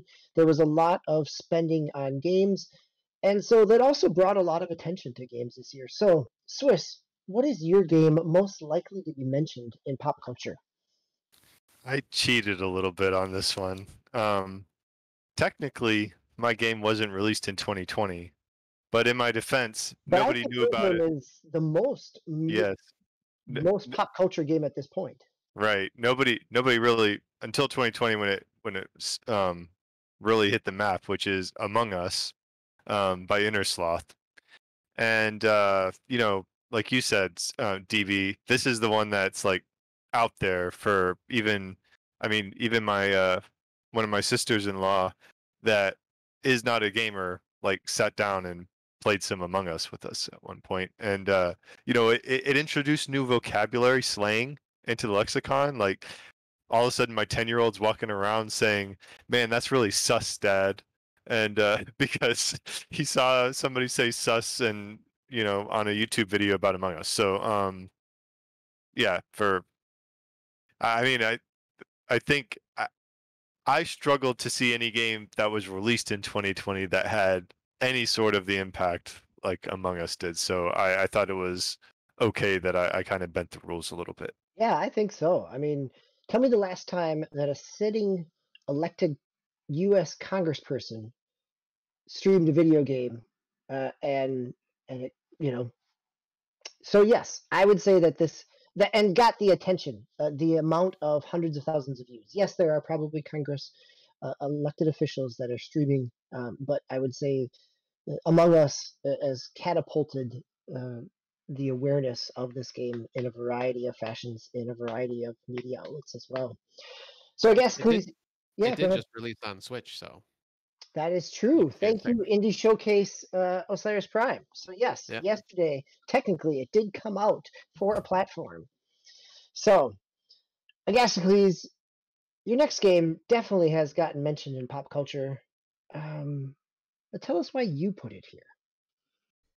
Yeah, and I'm probably this is probably my one pick that I'm the most disappointed myself in that I didn't maybe didn't really nail it. Uh, even uh, e- even in terms of like my own like making a selection for myself, um, I, I went with The Last of Us Part Two just because I felt like um, there was so much of a groundswell behind uh, that game and so much of a vocalization of um, you know, approval or disapproval, and um, and the divisiveness, you know, the polarizing effect of that game amongst the gaming community. That maybe it would have crept out into you know into parents' windshield. Um, and of course, you know, with 140 million or so PlayStation 4s deployed throughout the world, you know, I, I felt like it may have uh, gotten into conversation around the dinner table. Um, again, to go back over the history of this category, you know, I think we injected it the year that Fortnite came out because that was the first time that really you know we thought about like the impact of a game that um, got into the uh, awareness of you know parents and non gamers and and things like that. Um, so I, I, you know, Among Us is probably definitely a, a much better pick, you know, which I didn't really uh, think of uh, entirely. Um, but I also felt like there wasn't anything like a Fortnite that like the. I mean, I, I think mostly this category is about like what what is a game that like the normals know about, and uh, you know, the closest thing I could get to was the, the Last of Us Part Two. All right, so I will take that segue in terms of what the normals know about and say, I'm pretty sure Prime's pick hits its spot on the nose. So tell us what your pick is, Prime. Yes, so this this was talking about political parties. This was used for uh, the uh, uh, presidential uh, candidates, uh, whether they actually endorsed it or not. It's been used in in various um, products, you know, um, showing their wares. Uh, but that's Animal Crossing. So I think New Horizons, excuse me, to be more specific. I think it, that was, and not only just because you know obviously it sold you know millions and millions, but like I said, this was kind of the the game that you know everybody was playing. You know when COVID first hit, uh, there was a there was even a um, like a late night talk show that was built around it by um, God, I was just Gary Whitta. Gary yep. Whitta. Okay, thank you. Yep. Yeah. So you know he made a whole you know YouTube you know talk show you know through this uh, through this game, and you know just everybody's been you know using it for uh, all, all, kinds of things you know whether like i said whether it's a, a presidential thing or a, you know someone trying to you know uh, advertise their their product or, or, you know things like that so uh, you know this was definitely i think on the minds of everybody out there just beyond the the gaming uh, the sphere so yep animal crossing and I will second that pick with Animal Crossing. This is very much the the COVID 2020 game uh, of of spring quarantine is Animal Crossing. It it drove sales of of Switch. Uh, Animal Crossing itself, as we know, is now the second best-selling Switch game, and it's uh, hasn't even been released for a year yet. Um, and I think you know when you have a Hollywood writer like Gary Whitta, who also has chops in in video games, but able to bring in kind of A-list celebrities into Animal Crossing, uh, it certainly is is something that has crossed over in terms of of its cultural awareness. So that's where Animal Crossing came in for me as well. So let's move from pop culture to what we think is most likely to be game of the year in other media outlets. So this is oftentimes this is our our kind of game of the year catch-all category of games that may not be our game of the year, but a way to either uh, highlight or to take issue with a game that is going to show up in other game of the year lists. So, Agasicles, your turn to start us off, and I'm guessing you're getting back on a soapbox about this one. Yeah, yeah. To echo DB's description, you know, a, a lot of times this is our uh, admission of guilt category. It's you know a, a, game that we didn't like, but we do have to admit that you know probably other people will pick it as their game of the year. Um, uh, you know, for me, it's again The Last of Us Part Two. Uh, you know, I will also say, you know, depending on when uh, the individual cast members make their selections for this category, it's often either, uh, like in my case, I picked it before the VGAs went down, so um, you know, there was no way to know that that would be selected, but it was part of that VGA kind of guesswork of, you know, well, what game's most likely, you know, to be voted on by journalists.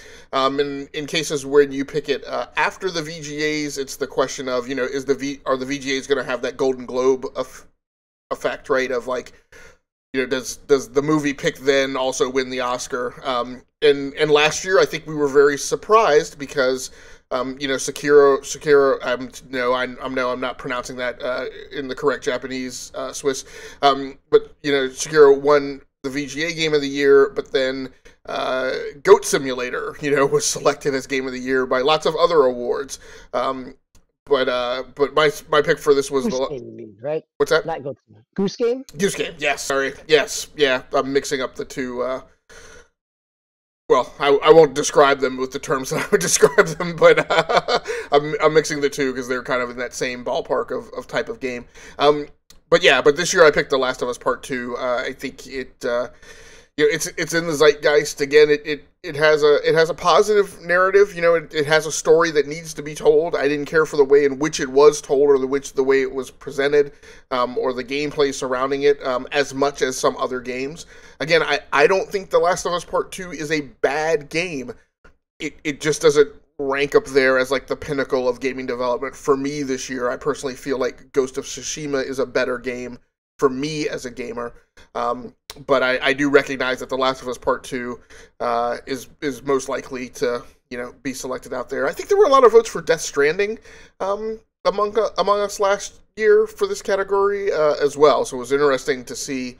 Again, it's always interesting to see what, what we think the industry is going to do, and just see the way that it that it actually plays out across award season. Okay, so this is our hat trick right here, gentlemen. This is the only time that we end up with a game that is awarded thrice in the same category. So, and it's not Last of Us Part 2. Prime, what did you choose as most likely to be Game of the Year in media outlets? Yeah, so I, I did think of uh, Last of Us Part Two, but being being at home, uh, working from home because of COVID, these past um, six to nine months, however long, I don't even know. It's, it seems like five years to me, but I've been able to catch back up on a lot of my podcasts, video game podcasts, and listening to these different podcasts, and most of them are from uh, IGN, but I have a couple other ones that that I listen to too. But all, almost in all the podcasts, I hear people praising this game, and that's Hades, uh, which actually just I believe it just recently came out within the last month or so, or a couple few months, uh, at least for the consoles. It might have been out maybe So it's, a, earlier. it's been on an Epic Store, an early release, and then this year, uh, this fall, it came out for Switch and kind of a 1.0 release on the Epic Store. Yeah, so I mean, I have hear people praising it like all the time. It, it seemed interesting to me. I know it's like um, what do you call it? Uh, roguelike uh, type of game where you know you just gotta kind of keep dying and starting over, you know, and getting better each time. Uh, but um, yeah, it was. I just that just kind of basically because I was keeping up with my my podcast and kind of um, uh, that just kind of came up like almost every time. So yeah, that's my pick, Hades. All right, Prime. Thank you. Swiss, keep us rolling down this this uh, grease train. I'm actually surprised that both uh, you and Prime picked it as well because I thought this was going to be kind of my cynical.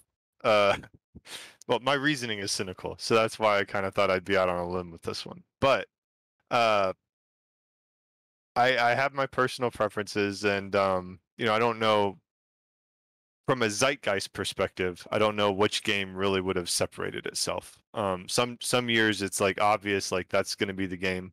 Uh, this year, I didn't feel like there'd be a clear one that separated from the pack.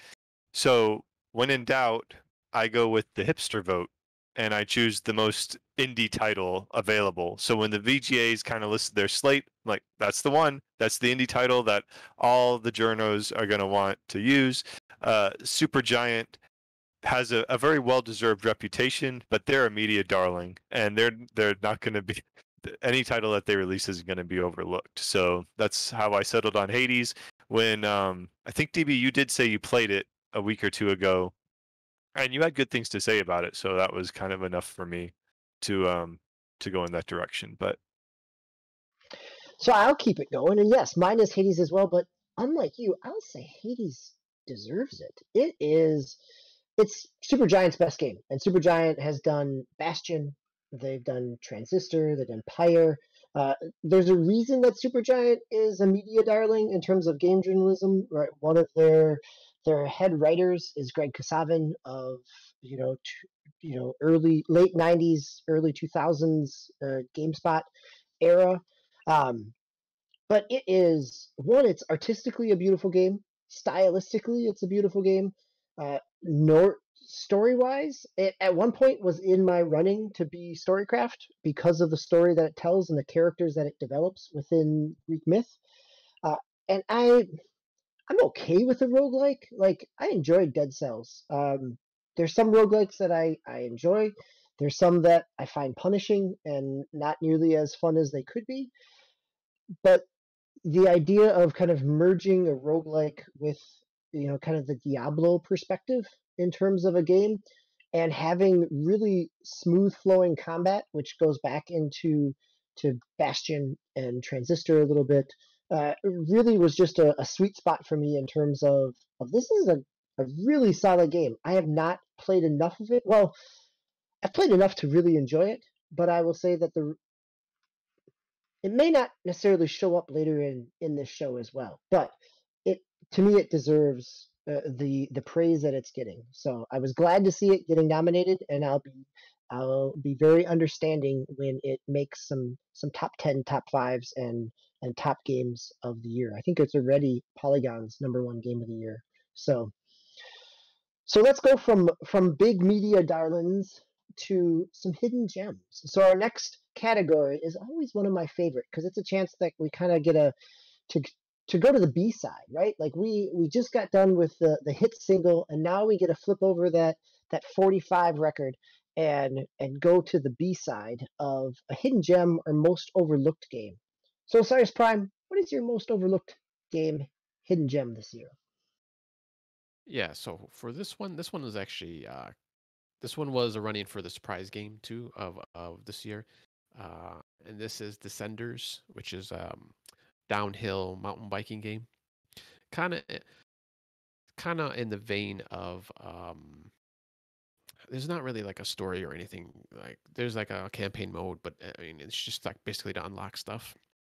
And the, and the real kind of like bread and butter to this game is just kind of doing the kind of the free roam parks that you can do um, in this game and just kind of like I guess it's kind of like a roguelike, but you don't you don't get power ups or anything though, because you just you know it's just keep going down these hills and you know do these crazy tricks and uh, try to do these like like there's like little wooden ramps that you have to like slow down. Like a lot of times you're just like you know speeding down, going super fast, but other times you have to kind of like kind of finesse it and you're going along these like really skinny ramps and and um, uh, roadway. Well, not really roadways, but like pathways. Uh, so yeah, this this one was uh, a, a surprise to me, and um, but yeah, it, it's it's a very fun game, uh, and you might see it maybe later on also. so give you a little Oh, preview there. interesting. Yeah. Well, I will go next with my uh, hidden gem overlook game. And at first, I thought maybe i you were right. Like, it, there's the potential for this to to have some some overlap with the surprise game. But my hidden gem and overlook game is a game. Again, I sat on the couch with my son and played through the entire game together. Uh, and this is Bug Fables. This is uh, on Switch. It's on all three consoles at this point. It released this year on console. It came out late in December on PC.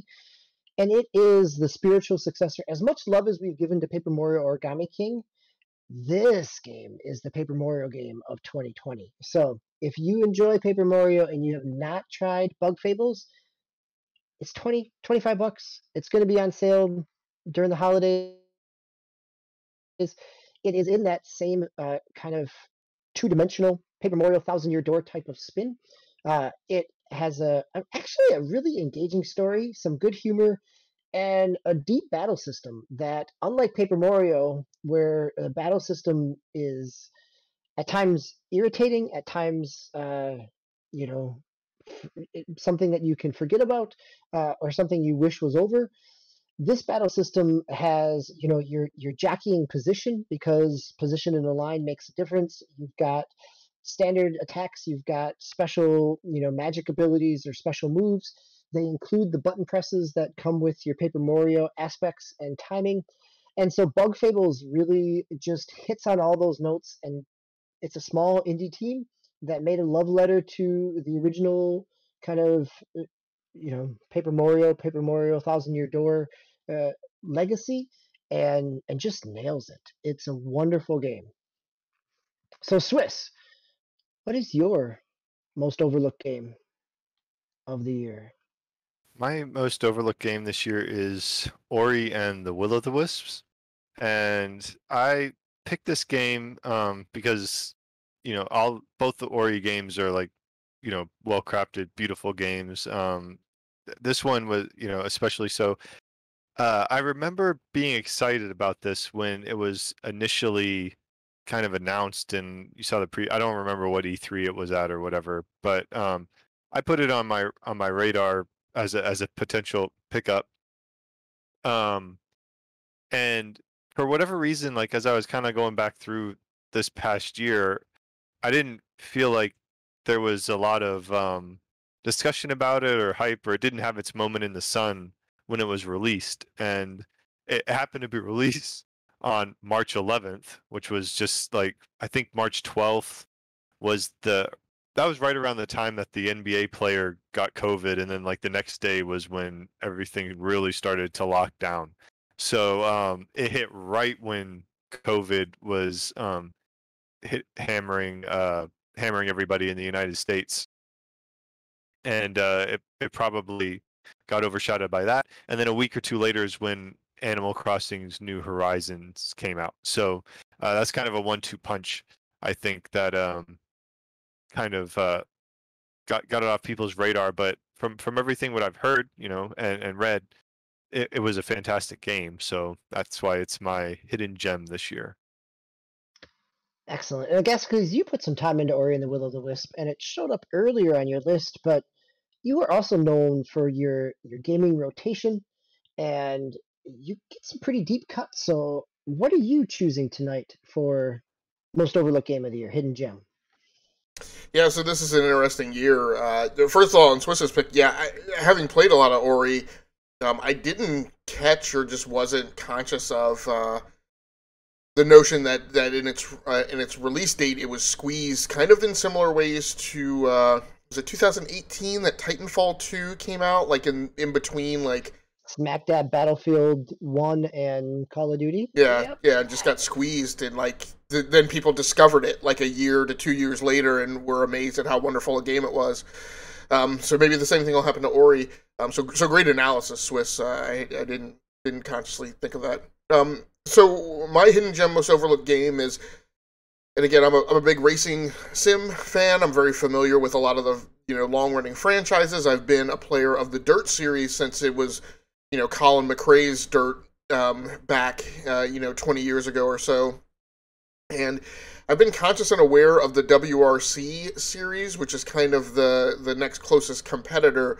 WRC has always been, uh, you know, several steps behind Dirt in terms of uh, graphical fidelity and physics engine and has been a, a less expensive game and has been uh, you know something that some players maybe have reached for who didn't like Codemasters. I, I don't know, but it's always been kind of the the uh, what I want to call it. The I don't know. It's been like the knockoff brand uh, racing game of Rally.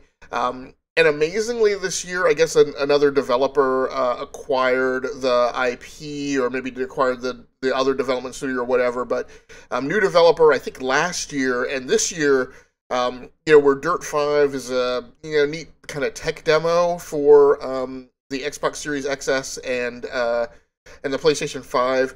Um, Dirt Five this year is really just not uh, the uh, you know representative of Forte that uh, that that Dirt installments have been the last few years.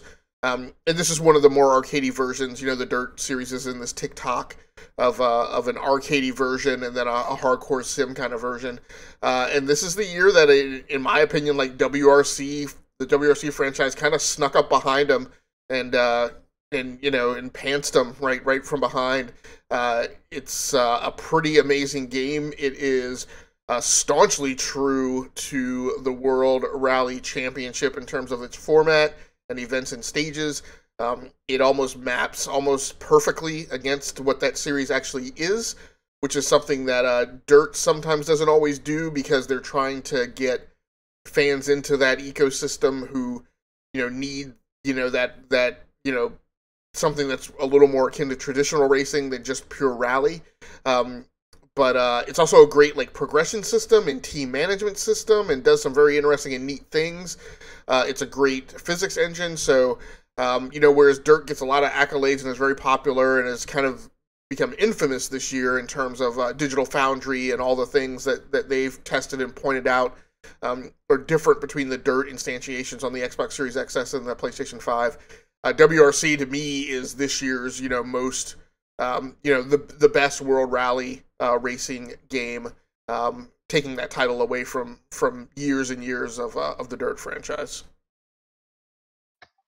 Right. Thank you. It's always good to. This is this is why this this whole night is always enjoyable because it gives us a chance to look back on things, and and for not only listeners, viewers, but for ourselves to to discover a few things along the way. So so thanks for that analysis.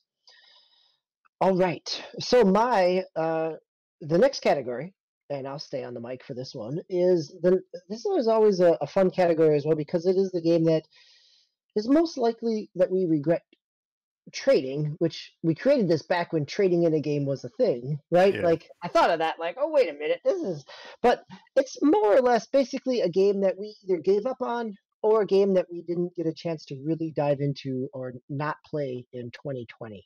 So my pick here is is tied right in with our last GX show gaming assignment. And so that gaming assignment, for those of you that that were here, it, it was to go back on something that you missed this year and give it a give it a chance, or come back to something that you need to give a second chance to. And it was very much within this category that I thought of that. And Half Life Alyx was very much the game that uh, you know. It's a game I wish I had more time to play. It is a game that, come Christmas break, come semester break, uh, for my job and uh, you know holidays that hopefully I'll have some time to to lose myself in the daylight in in Oculus Rift and not have uh, you know not have to worry so much about um, about my daytime responsibilities and can can live in this world and get a chance to play through Half-Life Alyx uh, in VR. So that is my my uh, regret for not spending more time during the summer when when I had COVID quarantine time to to dive into. So, Agasicles, what is your game that you uh, what's your game pick for this category? Something that you regret uh, not getting a chance to either invest in or not get a chance to play. Yeah, this is my pick that is really representative of uh, all hail Game Pass and the amazing thing that it is um, in in surfacing games to uh, a, a a point above the horizon where they can be discovered by gamers because Steam for what it all is um, that is good. Uh, I would say is an absolute trash pile when it comes to discoverability. Um, it, it it does nothing. Like I, I cannot go into Steam and find something. Um, I, I always have to Google outside of Steam, find the thing that I need, and then go to Steam. Um, you know, and, and search for that thing by its exact name. Uh, I you know there's some there's some you know scant use cases where I can do differently, but I'd say 92% of the time. Um, but Game Pass, you know, brings a lot of titles to the thing, and then and then you know with their media campaign, brings them into that you know you know recently added uh, screen, which is where I pick everything up. I will admit, you know, once something's in Game Pass, I'm not going to find it, you know, weeks later.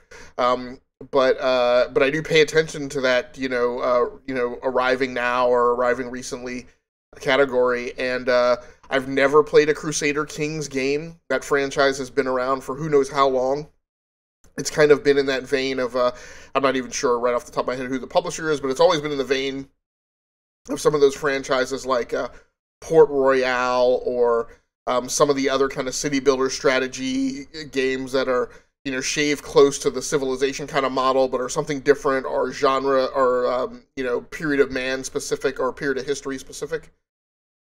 So, excuse me. Excuse me, getting a frog stuck in my throat.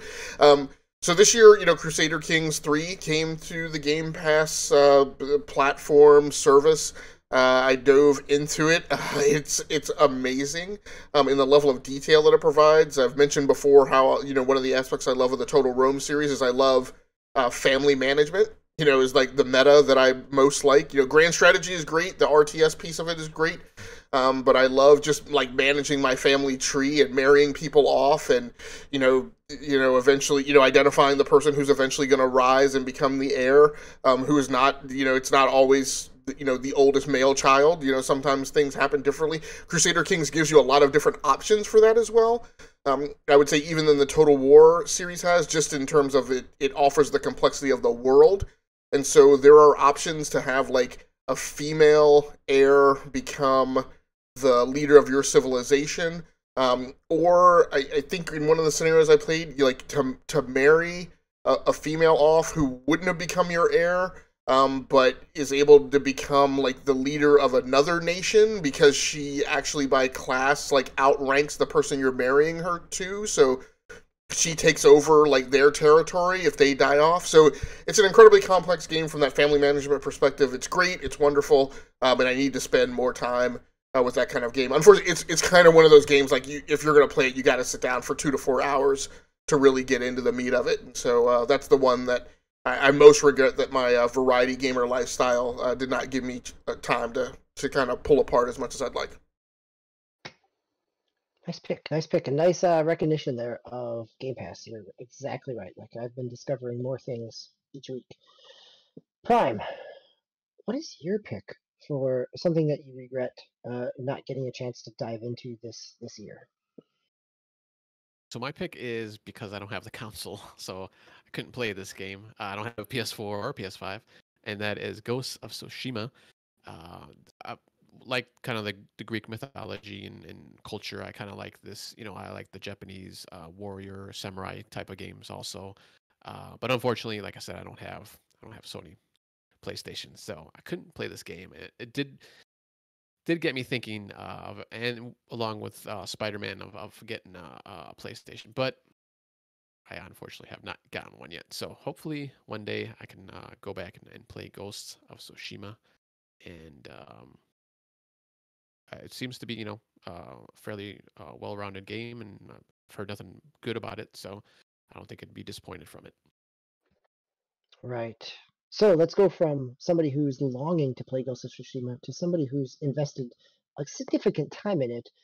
But Swiss is, I'm guessing Ghost isn't your choice for this category. So what is your choice for this category? Uh, I picked Hyrule Warriors Age of Calamity just because um, I haven't played it yet. It's a AAA Zelda title, and I don't care that it's a Warriors game because it's a Zelda title. So um, yeah, it, it, the um, I love Breath of the Wild, so I'm kind of intrigued about like them kind of doing a prequel. Um, but you know, it's ultimately this is a simple calculation for me. I'm just chuckling at the fact that you gave a Musou game a AAA status. So, uh, congratulations for that. So, let's move on. This is we are rounding the end here. The the the finish line is in sight, gentlemen.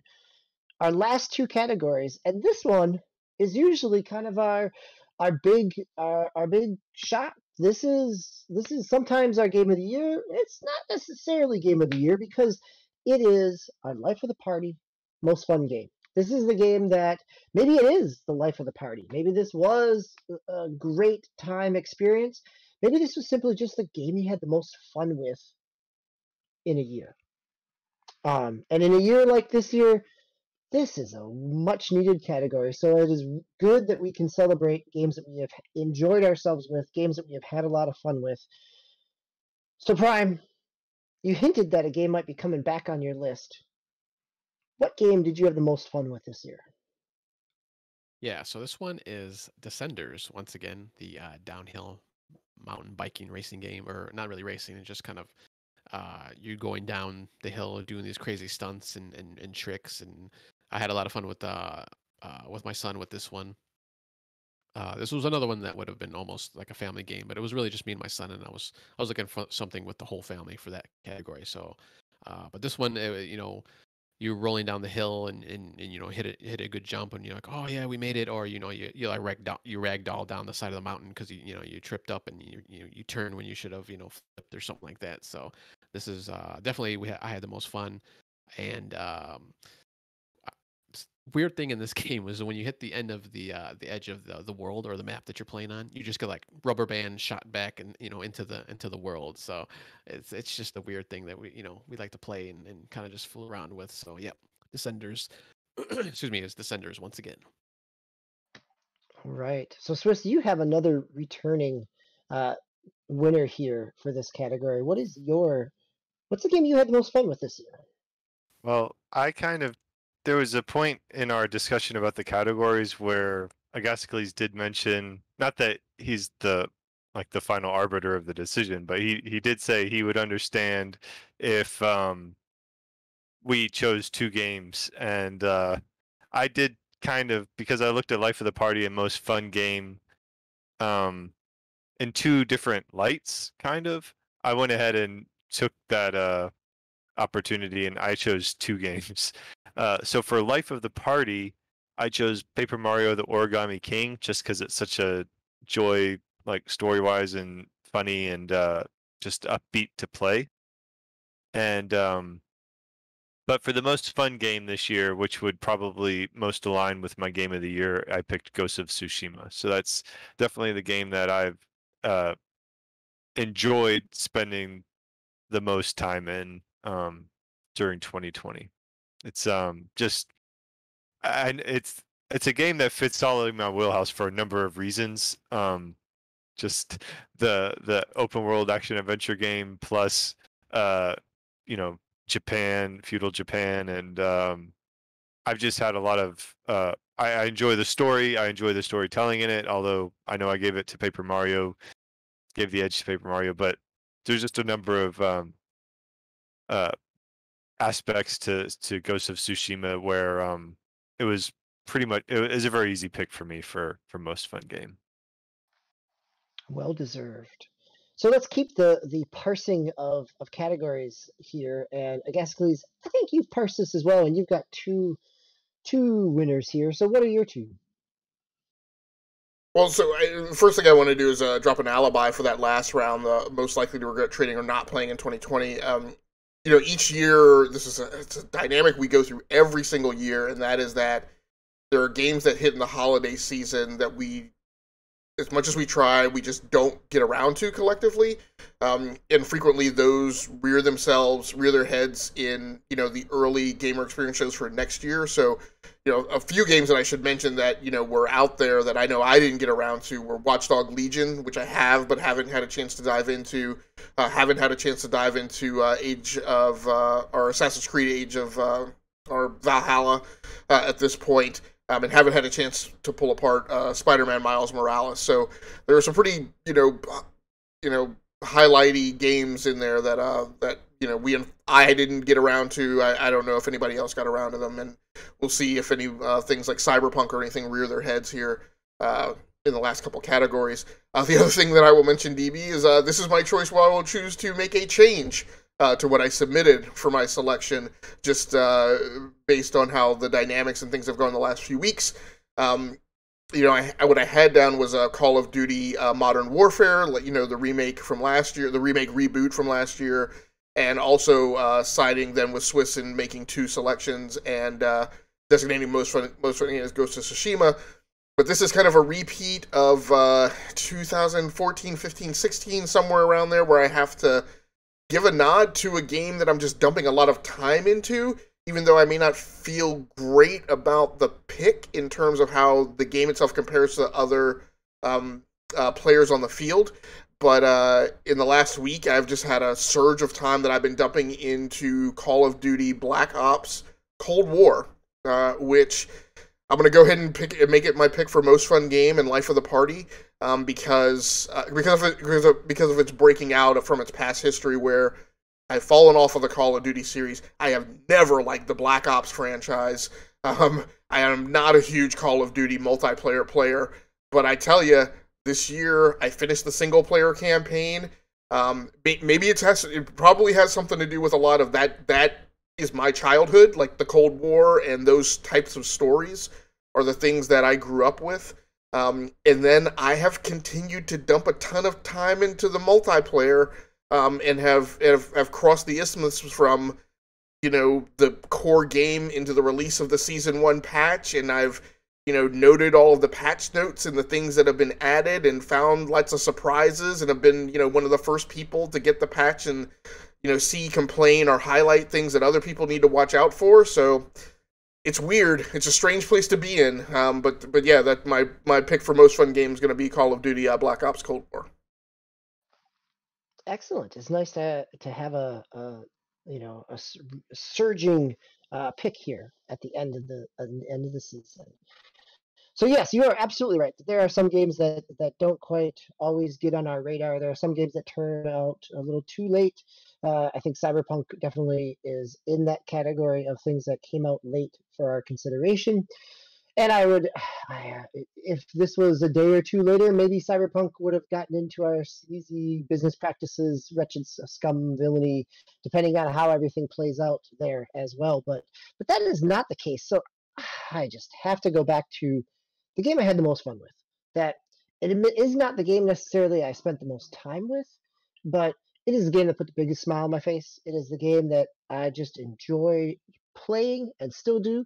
It shouldn't be a surprise because it, its its counterpart was my most fun game of 2018. And as much as I really wanted to try to find the fun in Marvel's Avengers, as soon as I picked up Spider-Man Miles Morales and started swinging, I there was no turning back. Right? Like I've gone back tried my uh, Marvel's Avengers, and and and every time I do, I think oh, I should just be swinging as Spider Man. Um, it's so much more fun, and and it's also a, it is a greatly packaged game. Like it takes the good combat, adds a few uh, new tricks in it with with some of the venom strikes and things like that. It tightens up the story because it's a smaller game. It doesn't have the kind of open world bloat that it, it really keeps things tightly packed together so the narrative keeps flowing. The characterizations of, of Miles and his surrounding uh, universe of characters is is well realized. They're a group of characters that in comics has always been interesting, enjoyable, and and has brought things to the, the comic book uh, discussions, and I'm glad for that. Uh, but again, it is it's fun to just swap on a different suit, swing around, and, and see what comes up next. And so that's why Spider-Man Miles Morales is my most fun game of the year.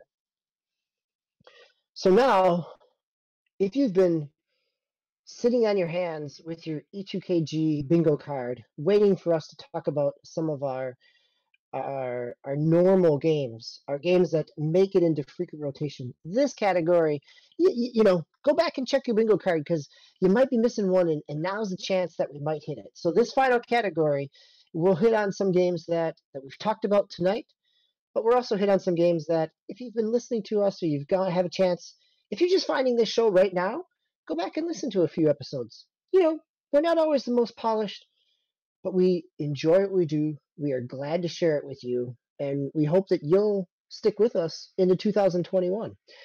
And that is our final category of the night is what is the game that we are most likely to be playing in 2021? So Gasicles, you just got done praising Call of Duty Black Ops. Does the game make a, a repeat performance here as the game that you are most likely to be playing in 2021? Uh, well, you, you think that it might, you know, and, and again, I, I, I tied that game back to uh, the same reasons that I picked Destiny, you know, after the Taken King came out for this category because you know I had to acknowledge that it was the thing that I was dumping the most time into, and so you would think that that would be the thing that I would highlight as still being still going to be playing in 2021. But I uh, concurrently, I also have to admit there's a good chance that I'll just fall off the Call of Duty bandwagon, right? At some point, that you know I'll, I'll get enough of it, or a season pass might come along, and I'll just say, ah, you know, it's, it's, I've I've gotten my ROI out of it. Uh, and so, what I'm going to leave as my choice is the fact uh, is the franchise that I definitely want to get back to, plumbing through the mythology and experiencing the games that I haven't experienced, and getting through that single player story driven aspect. And so the game that I'm most likely to still be playing in 2021 is a, is a technically a remake remake remaster effort from 2020, which is uh, Halo: The Master Chief Collection. Um, I strongly suspect that even if I continue to play Black Ops, I will definitely make my way back around to Halo: The MCC on PC and uh, continue going through uh, the games that I haven't played um, and experiencing you know those final uh, iterations that have been ported over to PC uh, this year by 343 Studios. Excellent choice. Yes, so much game to play through. Uh, Prime, now's your chance. Hit us with your your E2KG bingo card. What is your 2020 game that you will be playing the most of? Uh, oh man, I don't. Most of. Uh, Fair enough. so most pretty... likely to be still playing in 2021. Well, and this one I'll we're all nod our heads when you say it. yeah, you could probably uh, guess this one, but uh, I will say that pretty much every game on this list, other than Ghosts and uh, Hades, just because I don't have them, I'll be I'll be playing. But this is the one game I picked for this one is I didn't mention uh, yet this excuse me this episode, uh, which actually I guess Cleese just did in the last category, which is Call of Duty Black Ops Cold War, and actually. Uh, Black Ops was actually one of one of the uh, as the series in, in the Call of Duty franchise that I actually did kind of gravitate more to other uh, from uh, Modern Warfare or some of the other ones, the Ghosts and some of the other uh, kind of Splinter um, series that kind of came out of uh, Call of Duty. But yeah, the, Black Ops has always been uh, one of my favorite series uh, in the Call of Duty um, uh, pantheon of games. Uh, but and the weird thing is I've been playing a lot of uh, battle royale games. Obviously, if, if you've been watching these past shows in this past year, past few years actually. Um, but for this one, I actually went back just to the regular uh, competitive multiplayer, you know, deathmatch, team deathmatch, and you know, um, those type of game, that type of multiplayer game. So uh, it just, you know, it's just like riding a bike or slipping into you know comfortable shoes. I just like got right back into it, and you know, it probably helps that I I I do a lot better in the Black Ops uh, series than Modern Warfare. I, I mean, and not not that I hate to I hate to say this, but I do I do have a good a pretty positive KD uh, in these games. So uh, not nothing super, you know. Uh, you know, I'm not like three, four, you know, point whatever. You know, I'm, I'm usually one or twos, but I, I do get a positive, you know, KD in these games. So I, I don't know what it is. It's just um, And that's it's just, I'm, I just clicked with it. and that's ED now. They've they've changed the term to elimination versus death. Oh, elimination is death. Okay. Yes, because I think they give you credit for uh, I don't know, so, some some alternate method of of scoring. Oh, okay. Like an assist or something, or Yeah, I think you get assists in there and uh, and th- things that are you know takeouts from uh, field upgrades and uh, and score shot score Ah. streaks. score streaks. See, this Okay, is yeah. why you read the patch notes. Thank you, Agasicles. That's right. See, I was still going with old terminology. But yeah, no, definitely, I- I'll be, I'll still be playing this. Uh, the season one just dropped this week, which I, I don't know if I'll, I'll jump into the battle pass or not. There's always free stuff in there too, but, uh, and that does carry over into the uh, competitive multiplayer too, not just the the battle royale. So that's kind of nice that you still get, you still unlock stuff. So yeah, definitely uh, Cold War. I'll be still playing. Excellent. That is that is true to life, I would suspect. Uh, um, and my game that I am likely to still be playing in 2021 is when I when I've hit this category on the nose.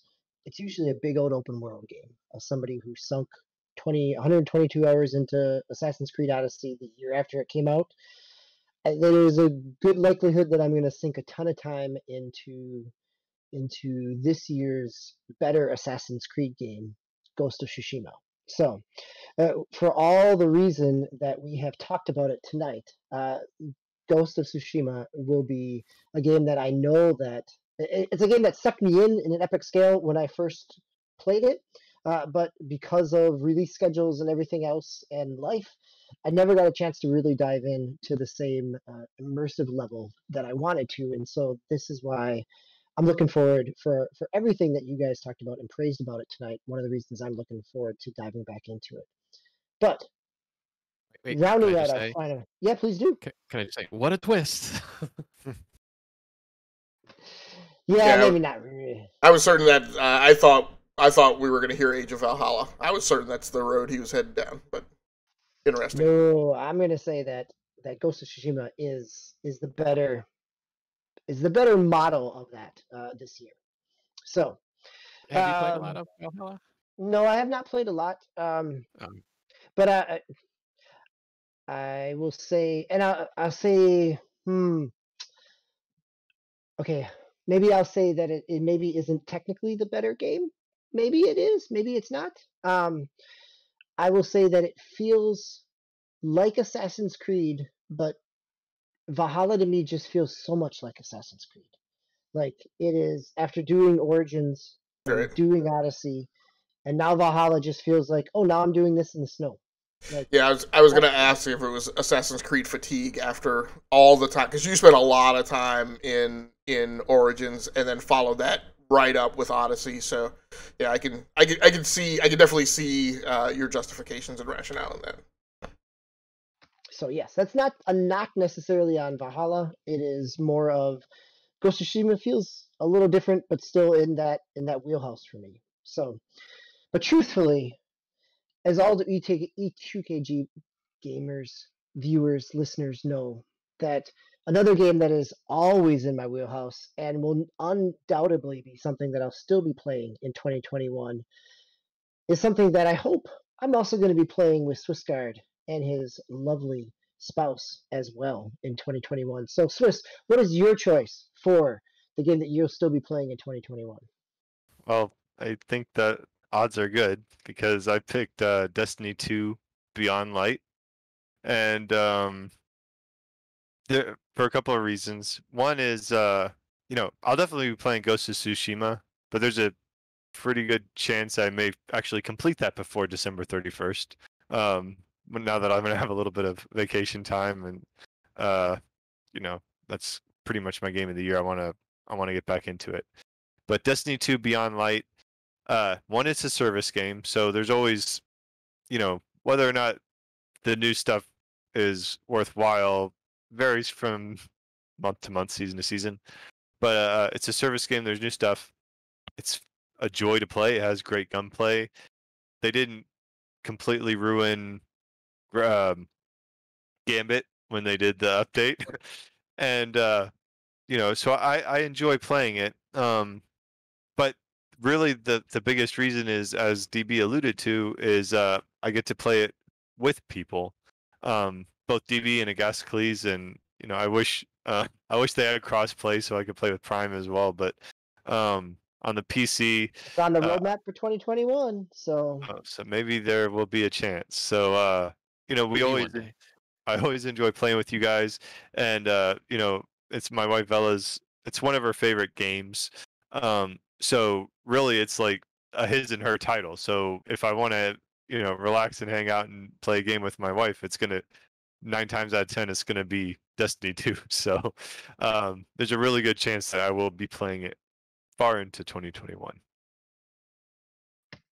But and the wonderful thing about E2KG and and you fine gentlemen is that so many of these games experiences, whether it's it, Master Chief and Call of Duty and Destiny, that we will find time to play together.